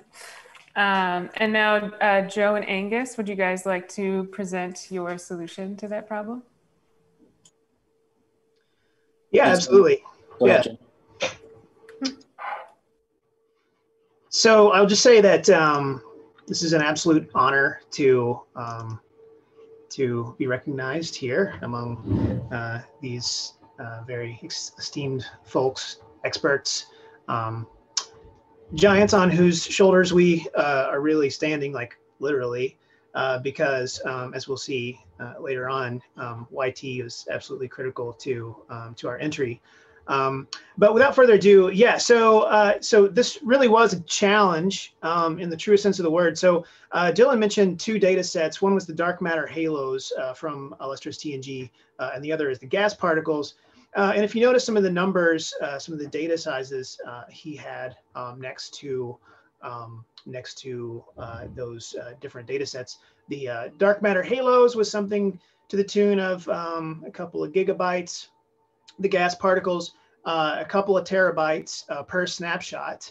So uh, what we wanted to do was was to um, quantitatively um, uh, quantify the uh, the density of the cosmic web, uh, similarly to how um, I was just describing in the talk in the last talk. And so first we took the the dark matter halos um, and incorporated those into Polyphorm, which you see here in the um, the, the lighter colored um, uh, spheres. And uh, our Monte Carlo Physarum machine uh, fit to the cosmic web to infer the filamentary structure in the, in the dens density field um, is shown here in this blue-green um, color scheme. So, so in this way, we were able to infer the uh, local cosmic density of, um, of each point in the TNG uh, 100 megaparsec by 100 megaparsec by 100 megaparsec uh, volume. Um, and so this is just visualizing the density uh, in, in slightly different way. Uh, the uh, void regions are in blue. Um, the outskirts of filaments um, are shown in green and the cores of filaments and nodes of the cosmic web are shown in red.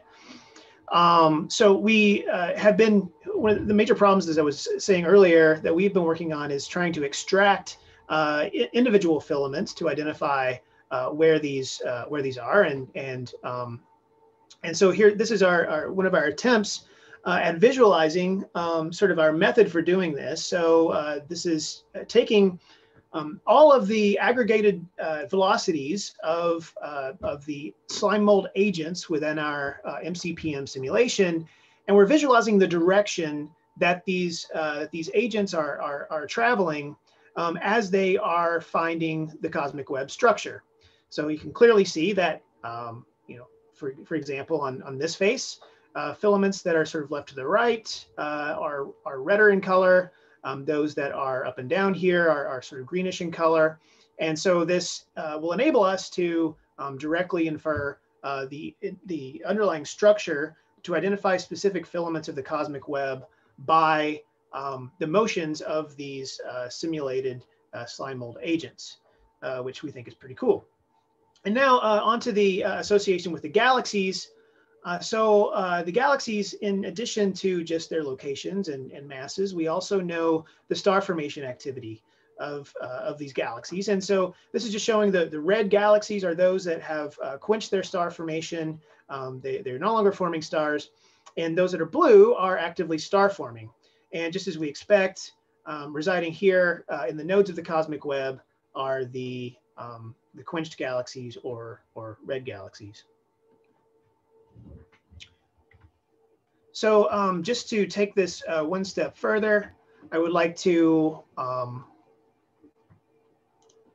change to a different view.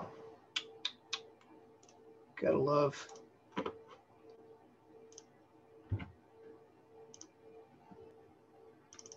Okay, and so as I said, the, the uh, MCPM uh, provides uh, a cosmic density, a local cosmic density field uh, for every point uh, in the TNG volume. So we can go back and we can ask ourselves, um, each galaxy that is um, from the TNG catalog, at what density uh, does that galaxy reside? And so that's plotted along the vertical axis here. Uh, galaxies in denser environments are going to be plotted uh, towards the top. This is just a 2D histogram. As a function of that galaxy's mass and its local environmental density, uh, how many galaxies in that mass and environment bin are quenched? Uh, and so at fixed stellar mass, we see an increase in the uh, fraction of quenched galaxies in that bin. Um, but then there's a really interesting uh, phenomenon here as we go to denser, uh, sorry, to, to higher masses, um, those galaxies are actually able to remain star forming uh, in denser and denser environments, suggesting that those galaxies that um, uh, have uh, more mass and are able to um, sort of hold on to that gas supply as they enter dense environments uh, are able to sustain their star formation for longer. And then uh, the other facet of our um, of our entry was actually to render the gas particles uh, and uh, from TNG within CosmoVis. And so this is uh, CosmoVis here. This is the TNG uh, 100 uh, gas particle data uh, laid out in CosmoVis. I'm, I'm controlling it in real time here. And so this is, um, yeah, so 1.7 terabytes, I think was the download on this. Uh, David Abramov, who um, has really been the lead developer for CosmoVis, uh, he actually was was downloading these data. It took him about a week, and um, and part of the process is we we bring those data into YT, and we extract voxelized grids from YT, which we then uh, visualize through our um, sort of custom rendering scheme uh, for both the volumetric rendering of gas and dark matter and particle rendering of, of the stars. At any rate, um, he frantically messages me and is like, I don't think I have enough hard drive slash computing space slash memory on this machine uh, to do this. Um, can you download the data? I started downloading the data. We had about um, a week left on the data challenge, I think, at this point, and uh, it was going to take me a week to download the data. So I took him this uh, extra hard uh, drive out of this computer, uh, met him on a street corner near his place. He grabs it, puts it into his computer, copies the data over. We exchange it back, and we, anyway, we're able to get the data all processed and loaded into CosmoVis, and the result is just, I think, rather breathtaking. We're enable, we're, we're able to uh, interact with the data, um, these volumetric, you know, gas data, essentially very much in, in real time. This is this is the full um, volume, um, the Illustris TNG data set. And I was just trying to find the region, uh, the, the beautiful merger of three filaments um, that, that Dylan was showing in his, uh, in his slides. Um, not sure I found it, but I did find this pretty cool little, little wall structure over here that's just full of, of gas. So the hot gas is in red, Cool gases in blue, uh, intermediate temperatures are shown in the uh, sort of orangish uh, colors here. So yeah, this has been a lot of fun. Uh, under active development, CosmoVis is, um, is funded through uh, an archival uh, data research and theory research grant from the Hubble Space Telescope. and one of the main aims from this is to be able to um, extract synthetic spectra, just like those quasar spectra uh, I was analyzing uh, in the previous talk uh, in real time in this visualization, uh, this 3D visualized environment. And so, you know, with that, one can, can draw a skewer, um, request the spectrum, and the spectrum will be generated in a few minutes uh, because this data set is so large. But um, you can see the skewer there sort of probing the halo of this galaxy. And then one can just directly um, can just directly do the kinds of experiments we wish we could do with the real universe if we had an infinite number of quasars lining up just in the right just in the right configurations behind the galaxies we'd like to study. So yeah, with that, I'd like to take any questions about the data challenge, but really uh, looking forward to some conversation uh, with the rest of the folks who've presented here today. Uh, thank you, Joe. Yeah, in the chat, everyone's blowing up about how awesome this submission is. So um, congrats again. Uh, this is great work. Thanks so much. Um, yeah, that rendering is just incredible. Um, and I was really glad you showed that plot of the quenching um, fraction as a function of density versus stellar mass, because I felt like that was a really good example of a visualization tool, you know, answering scientific questions, um, which is awesome to see. Um, but to start this discussion kind of about building um, uh, connections between our two communities. Um, Joe and Angus, can you guys say something about um, the challenges of, um, or how such a fruitful collaboration that you guys have kind of came to be and the challenges of working with astronomy data sets? Um, the challenges from a visualization point of view are the need to really absorb a lot of knowledge in an area that we're not experts in. Um, and likewise, I think the challenge for astrophysicists or domain scientists is to understand the, you know, to, to gain a visual literacy. And I think that in a lot of collaborations, it's very fruitful that, you know, one person is the visualization expert, the other person is the domain scientist. But in this case, I think what made it so fruitful is that folks in my lab were really interested in learning about astrophysics and folk and Joe himself was very interested in learning about visualization and already had some familiarity with it. So um, I think that was super helpful. And additionally, one thing that helped us, uh, seeing as we don't have a full-time team of developers, we haven't written a super large grant that will fund uh, students to be, you know, to, to be dedicated to this one project. Rather than trying to make one big project that does everything, we've been creating uh, smaller uh, software packages. I'm just seeing some of the comments here from the, the folks at Glue. It would be great at some point to integrate this, these tools to larger packages to make them more widely available, but definitely getting started, it was much more helpful to work on smaller projects with very focused tasks and indeed specific data sets at first. Um, and Joe had very specific scientific questions and basically had this great idea of kind of merging um, observational approaches with, uh, uh, uh, with, with and using that as a metaphor to analyze scientific data sets and including the simulated data sets. So it was kind of a natural process with lots and lots and lots of iteration for each individual project and then from project to project. We also have a sonif data sonification project we're working on, which we didn't talk about today, but we, so that's at least four separate projects we're working on. Um, and uh, it's an open question for will they fold into each other or, or will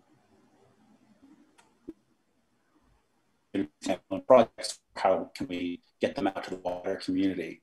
But in terms of getting it started, it was helpful to kind of um, keep keep it very focused on specific scientific tasks.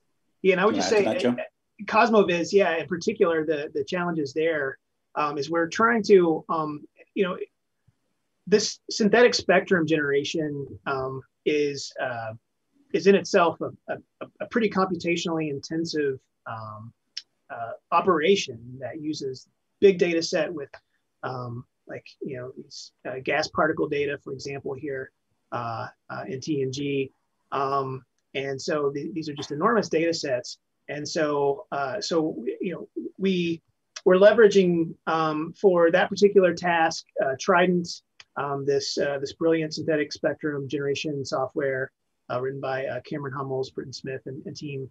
Um, and uh, you know, I mentioned during the um, I mentioned during the uh, the little uh, uh show and tell there, you know, that YT was absolutely critical to reading in these data um, and, and producing the voxelized grid. So I think as we've scaled up in complexity, uh, you know, we've really just had to leverage um, these these tools.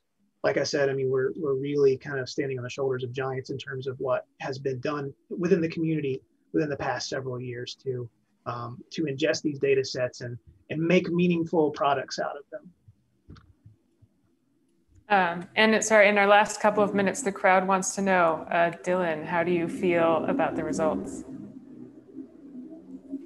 No, no, I think they're super cool. Yeah, I'm obviously very impressed. I mean, uh, uh, what is there to say? It's very hard data to work with. And uh, I think the approach that you guys took uh, massaging it and doing the uniform grid rendering. Especially, I really think that the um, it's a it's a web application, right? I understood that correctly. So it's running. It can run in the browser, uh, which I think is one of the best ways to connect to people. Right? It's really hard to have a big application someone has to download, but when you get it running in the browser, suddenly very fast you can have you know it hits reddit you could have 100000 people trying to use it at once which is when it, things get really fun so um, yeah, I think that's a great, it's a really impressive look and also the accessibility is very cool.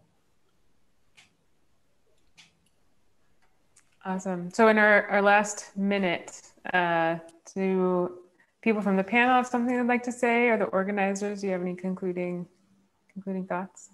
So I think one thing, uh, you know, big purpose of getting, uh, you know, getting this workshop going um, was to really bring forward uh, a, a, broader group of visualization folks and a broader group of astronomers to have this conversation. I think there have been these synergies and we have this these wonderful examples that we have um, uh, talked about today. But I think growing the community is going to be increasingly important. And so I guess um, one question that, that I would just pose for, for discussion is, uh, we talked a little bit about the barrier to communication. Um, is there some type of uh, kind of like regular check-in place or point anywhere in kind of space and time uh, where people can kind of get together and chat about this, or is it just in these informal um, or for more formal kind of collaborations that people are are uh, doing? I think that's something that I that is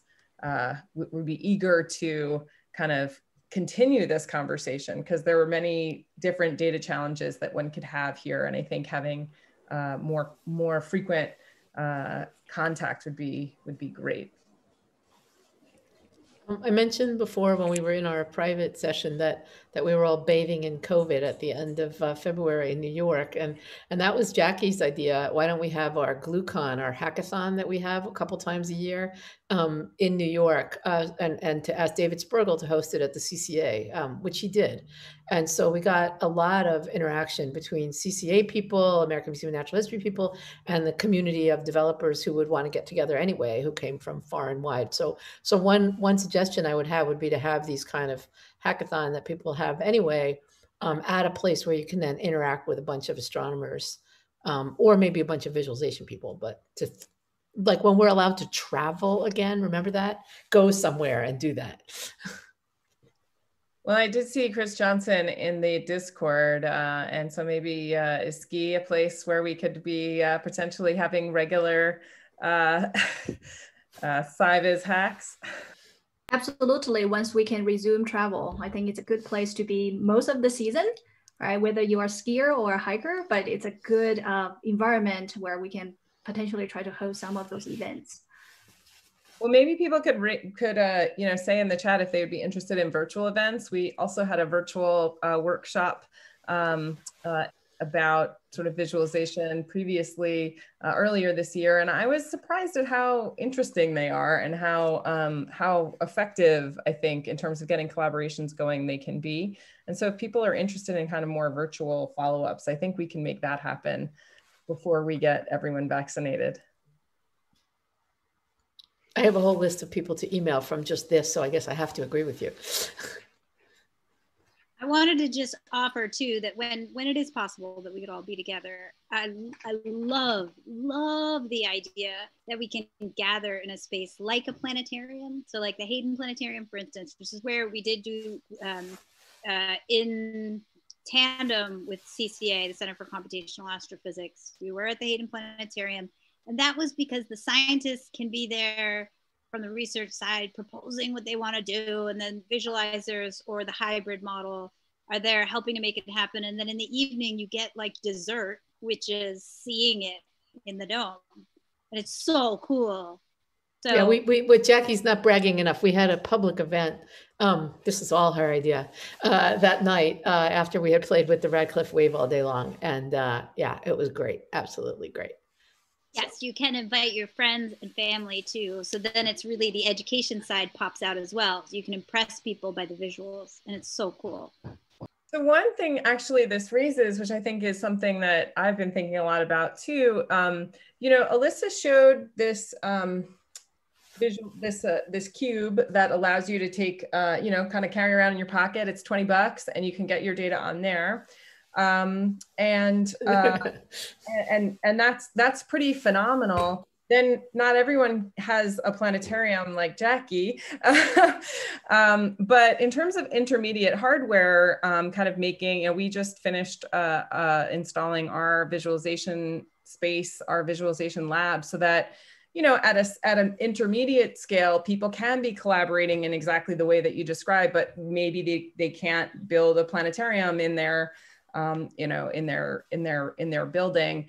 Do people feel like there are kind of hardware um, uh, kind of needs here that should be um, you know alyssa talked about this a little bit in her talk and i would actually like her to unpack that a bit sure. more and then and then there's another question from discord so we're not gonna uh, we'll get to that in a sure second. so this thing i mean basically i took i took the uh the pandemic as an opportunity to uh, you know do things I have been wanting to do for a long time. So I bought a bunch of different 3D interaction devices. Somebody put I'm sorry I can't remember who, but somebody in the audience put that they have been working on 3D selection. So Michelle mentioned uh, our computer science colleague here at Harvard, Hanspeter Pfister, who does a lot of visualization. And it took me like three years to explain to him what I meant by 3D selection being an unsolved problem. So let's say you looked at those filaments that uh, Joe and Angus were just showing, right?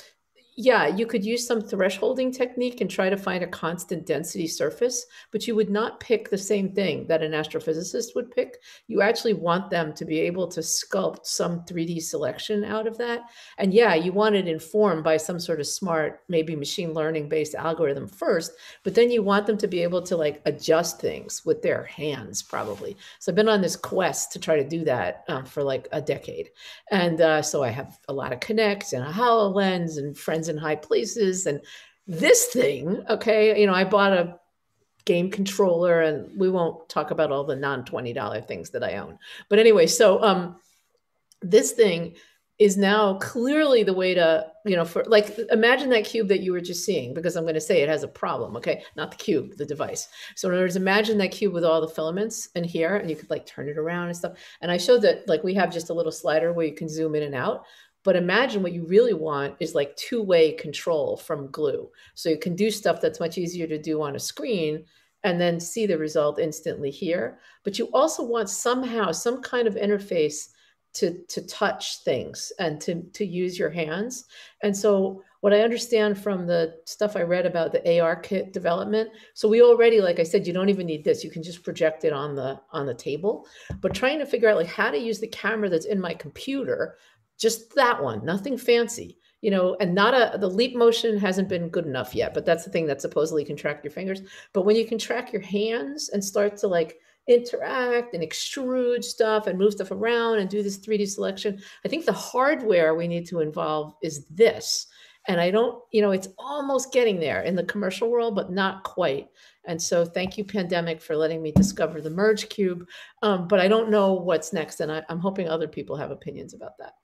I think like if I could uh, like what you were saying about the planetarium is like it's true that not everyone can be Jackie and having a planetarium in the backyard, but there's like maybe like three thousand planetariums around the world, and they're all very close to universities usually. But I don't think by coincidence. So I think there's uh, particularly for visualization researchers, there's probably a planetarium within an hour driving distance from any university. So and those people they're starved for content and having having a researcher coming in with completely new data sets and everything it's i think there's there's a gold mine of potential uh, outreach i have to say alex i agree with you and i disagree with you. So i agree with you that for the people in this little zoom thing you're totally right for your run of the mill average astronomer, no way. And so Kai Li at Princeton a long time ago, who, who was building these huge display walls, he told me this story that has never left my mind about how they built these giant displays uh, in the cafeteria at Princeton and they thought the scientists would come use them and they would not go anywhere. And he said, you have to bring it to them in some way that's not outside what they normally do. And so some of you know who Charlie Lada and Tom Dame, and so they're two excellent astronomers who don't know anything about visualization.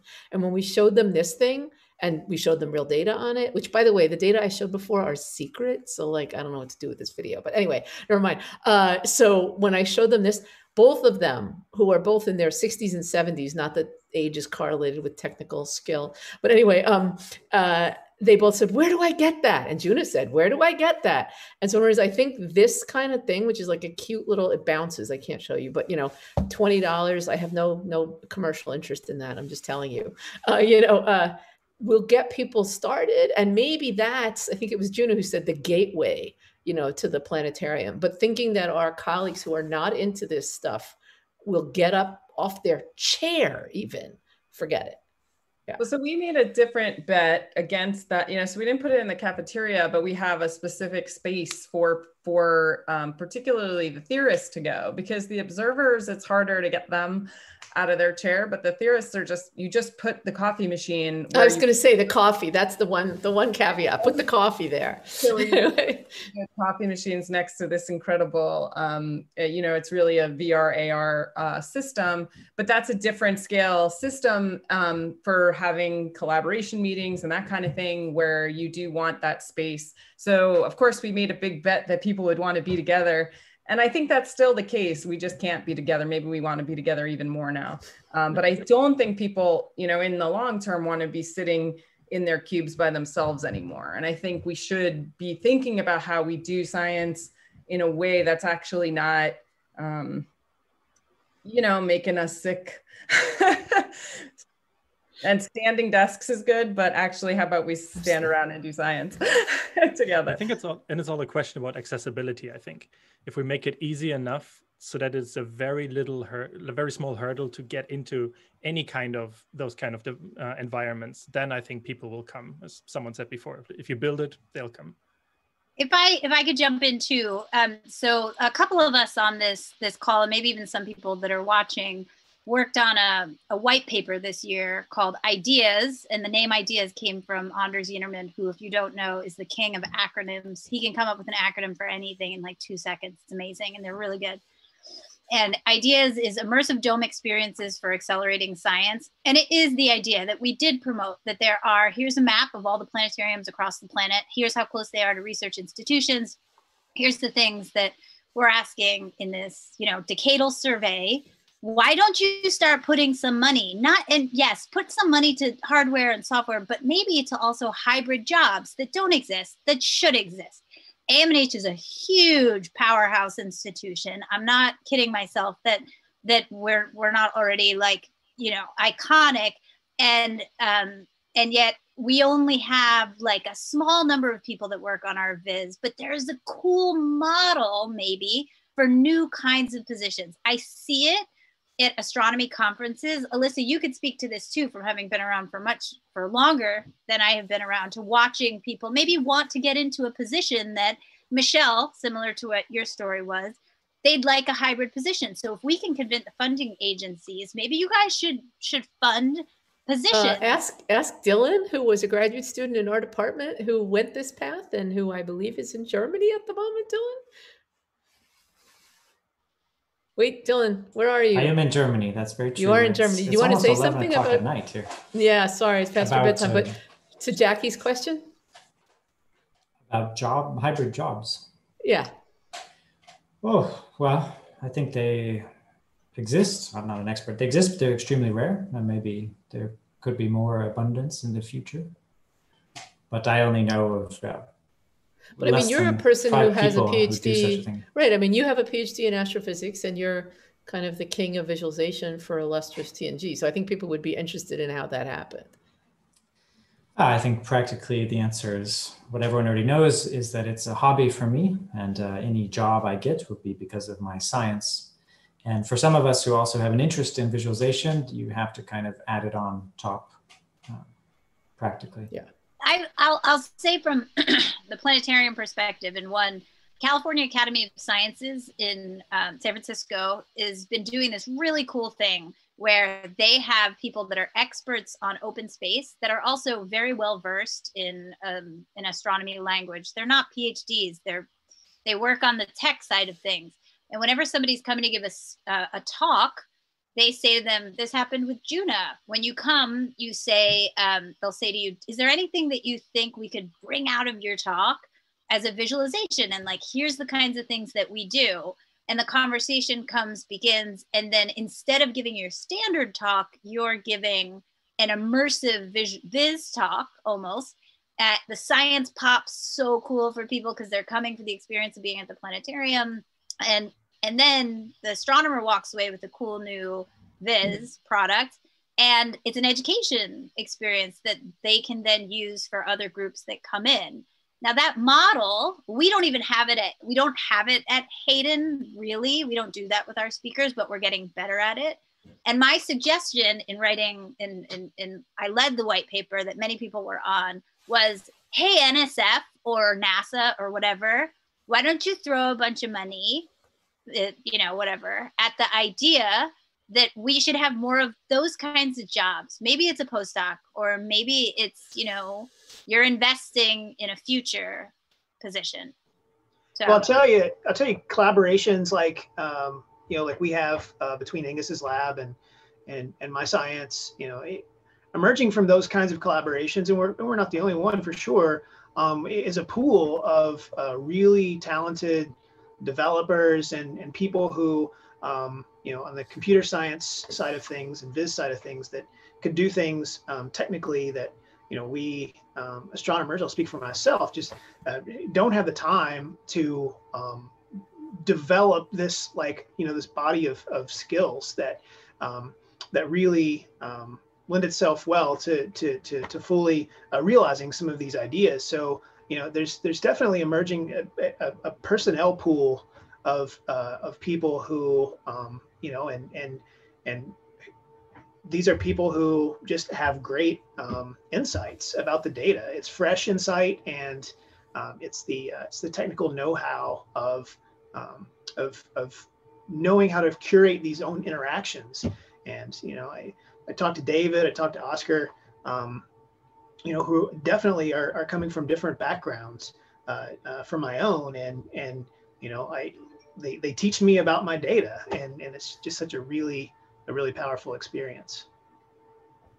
Can I just add one more thing, which is the commercial aspect of this? Because in other words, I agree with everything that's been said, and and actually Matt just put a, a good link in the in the chat um, uh, that has to do with software development and this kind of model. But what I wanted to say is that I should give credit where credit is due. This collaboration that led to the demo that I showed you involves a commercial company called Delightex that actually makes an educational app, among other things, for these cubes. And so there's a lot of investment. I mean, this is specific to augmented reality, but you know, Apple's probably spent like you know some large fraction of a billion dollars uh, developing ARKit, and we're never going to do that. And most of the people who are using it are in the commercial space. You know, you can buy a chair using one of these, or you know, nothing, but you can't do astronomy, and you know that's wrong. And so we have to, I know Matt Brehmer is running a Viz in practice session right now. That's why he's not here. And, and I went to that one in Berlin and there were people from um, companies at that. And so I think bringing that, I know that makes it even more complicated, but bringing them into the conversation um, can be really useful because you know now these people can go give real astronomy data to uh, you know students that they're you know making this app that goes to hundreds of thousands of people for and things like that. So there's like these spillover effects that you can't anticipate. But anyway i just wanted to add the commercial partners part so I do want to um, I do want to get to this question, this really important question that was in Discord, which is, you know, what are the things visualization researchers should work on to support analysis and visualization of uh, astronomical data. And I think, um, and so this person said, I'm thinking of this from the perspective of yesterday's fireside chat session. Um, and so from my perspective, I would say, um, you know, just be interested in astronomy and kind of reach out. I think that that's a, you know, I think those collaborations have to be made within these frameworks, but I think it would be good uh, to hear from perhaps Michelle on this specific issue, since she uh, is is is has more of a perspective on both sides of that of this domain. Yeah, absolutely. And for those of you who weren't sure what that fireside chat was referencing, was that happened at the BELIV uh, workshop yesterday, which is all about visualization methodologies and evaluations. It's like the heavy visualization theory and methods part of the conference. And there was a chat between Michael Correll and Tamara Munzner, these two figures in that world, arguing about the utility of things like design studies, where uh, visualization researchers come in and do some like small little thing, a piece. And Michael was like, no, that's not worthwhile. That's n equals one. We should do more broadly applicable things. And there were discussions out there about, and Alyssa Goodman and I have had lots of conversations. She's going to cringe at the idea of workflows and tasks. And all these things, you know, the framing that visualization researchers take. And it's like taxonomies and vocabulary to better understand how scientists and whoever wants to visualize their data. And that sort of helps you make the solutions, or at least helps you identify where there could be solutions in analysis. And I think there's a lot of potential there actually in two parts. One is actually developing new tools and techniques. And I actually think design studies are a great thing in design studies with astrophysics data is fantastic. It's a little bit what Angus was saying of being motivated to work and come up with a solution based on like a particular data set or a particular problem someone has. But then there's also this whole other meta world, which is where I live in a little bit more in Viz. And I feel like the complexity of what astronomers need to visualize, to explore, to communicate can in many ways like break our theories, they break our vocabulary, they make us like it just kind of breaks everything because of the people, the complexity, the collaborative aspects. And I think there's a lot of potential there. And I come from the very old school Viz world, and we have a unified conference, so we're never going to use this vocabulary again. But I think astronomy is not just for those who do the spatial visualization, the scientific. The astronomy data offers a wealth of collaboration with the analytics folk and with the information visualization people and with the visualization arts communities. I think there's a much broader conversation we could be having and a lot of back and forth. I think there's also baked into that question, there's so it says visualization researchers, not visualization engineers. And I think there's a potential like tug of war between that as well, because as a visualization researcher, you're always interested in making something novel and something completely new, and that might not necessarily be the one that the domain expert wants, because they might be what already know what they kind of want, but that has been done before, so it's hard to do new research on it. So like having like trying to uh, what square that triangle, no square that circle, uh, is also not super easy all the time. But I think that's where those um, like meetups, particularly if it's not virtual and can happen over an alcoholic beverage. I think that's where those those things really come to shine. So I think that's really a good idea. Yeah, I'll just throw in there a metaphor that Michael Correll used in the workshop yesterday, which was we were talking about sort of what you can publish in the community and this tension you're describing. And it's like a doctor. A doctor doesn't write a journal paper in JAMA for every single patient or thing they do it's for the novel little discoveries but their day-to-day work is treating patients and saving people and there's that tension for the visualization folks right? Like i'm going to publish this thing but my everyday is helping these scientists and like building these not inventing a new thing but doing something really valuable. So i think that's a fantastic way to wrap up our discussion session and i'm hopeful that this is just one of many uh, discussion sessions to come with this group and those of you online. Final round of applause to all of our speakers and our participants on Discord. Uh, you guys were fantastic. Uh, you know, stay safe, everybody, stay healthy. Uh, and uh, I loved what uh, Matt Turk said about, you know, building a, a, a kind and open minded community. And really, thank you everybody for, for, for attending. Thank you. Thank you. So, Thank you. Um,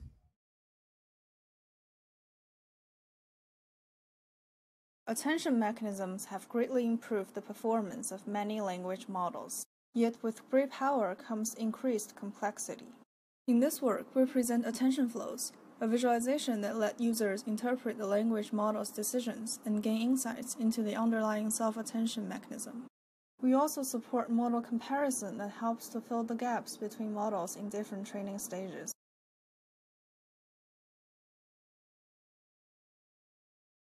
As data is changing, our understanding of data should be updated correspondingly. Based on machine learning approaches, we formulate a drift level index to monitor the evolution of multi-source data, which allows users to capture and reason significant changes from time series data.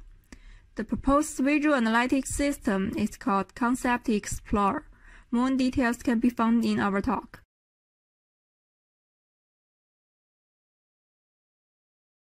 White space surfaces are a novel approach to convey depth in vessel visualizations. The core idea is to shift all additional depth cues away from geometry and to use the usually empty space between the vascular structures. This allows us to display functional parameters on the surface and supporting cues on the background. We will explain how to generate such surfaces and how to use them as a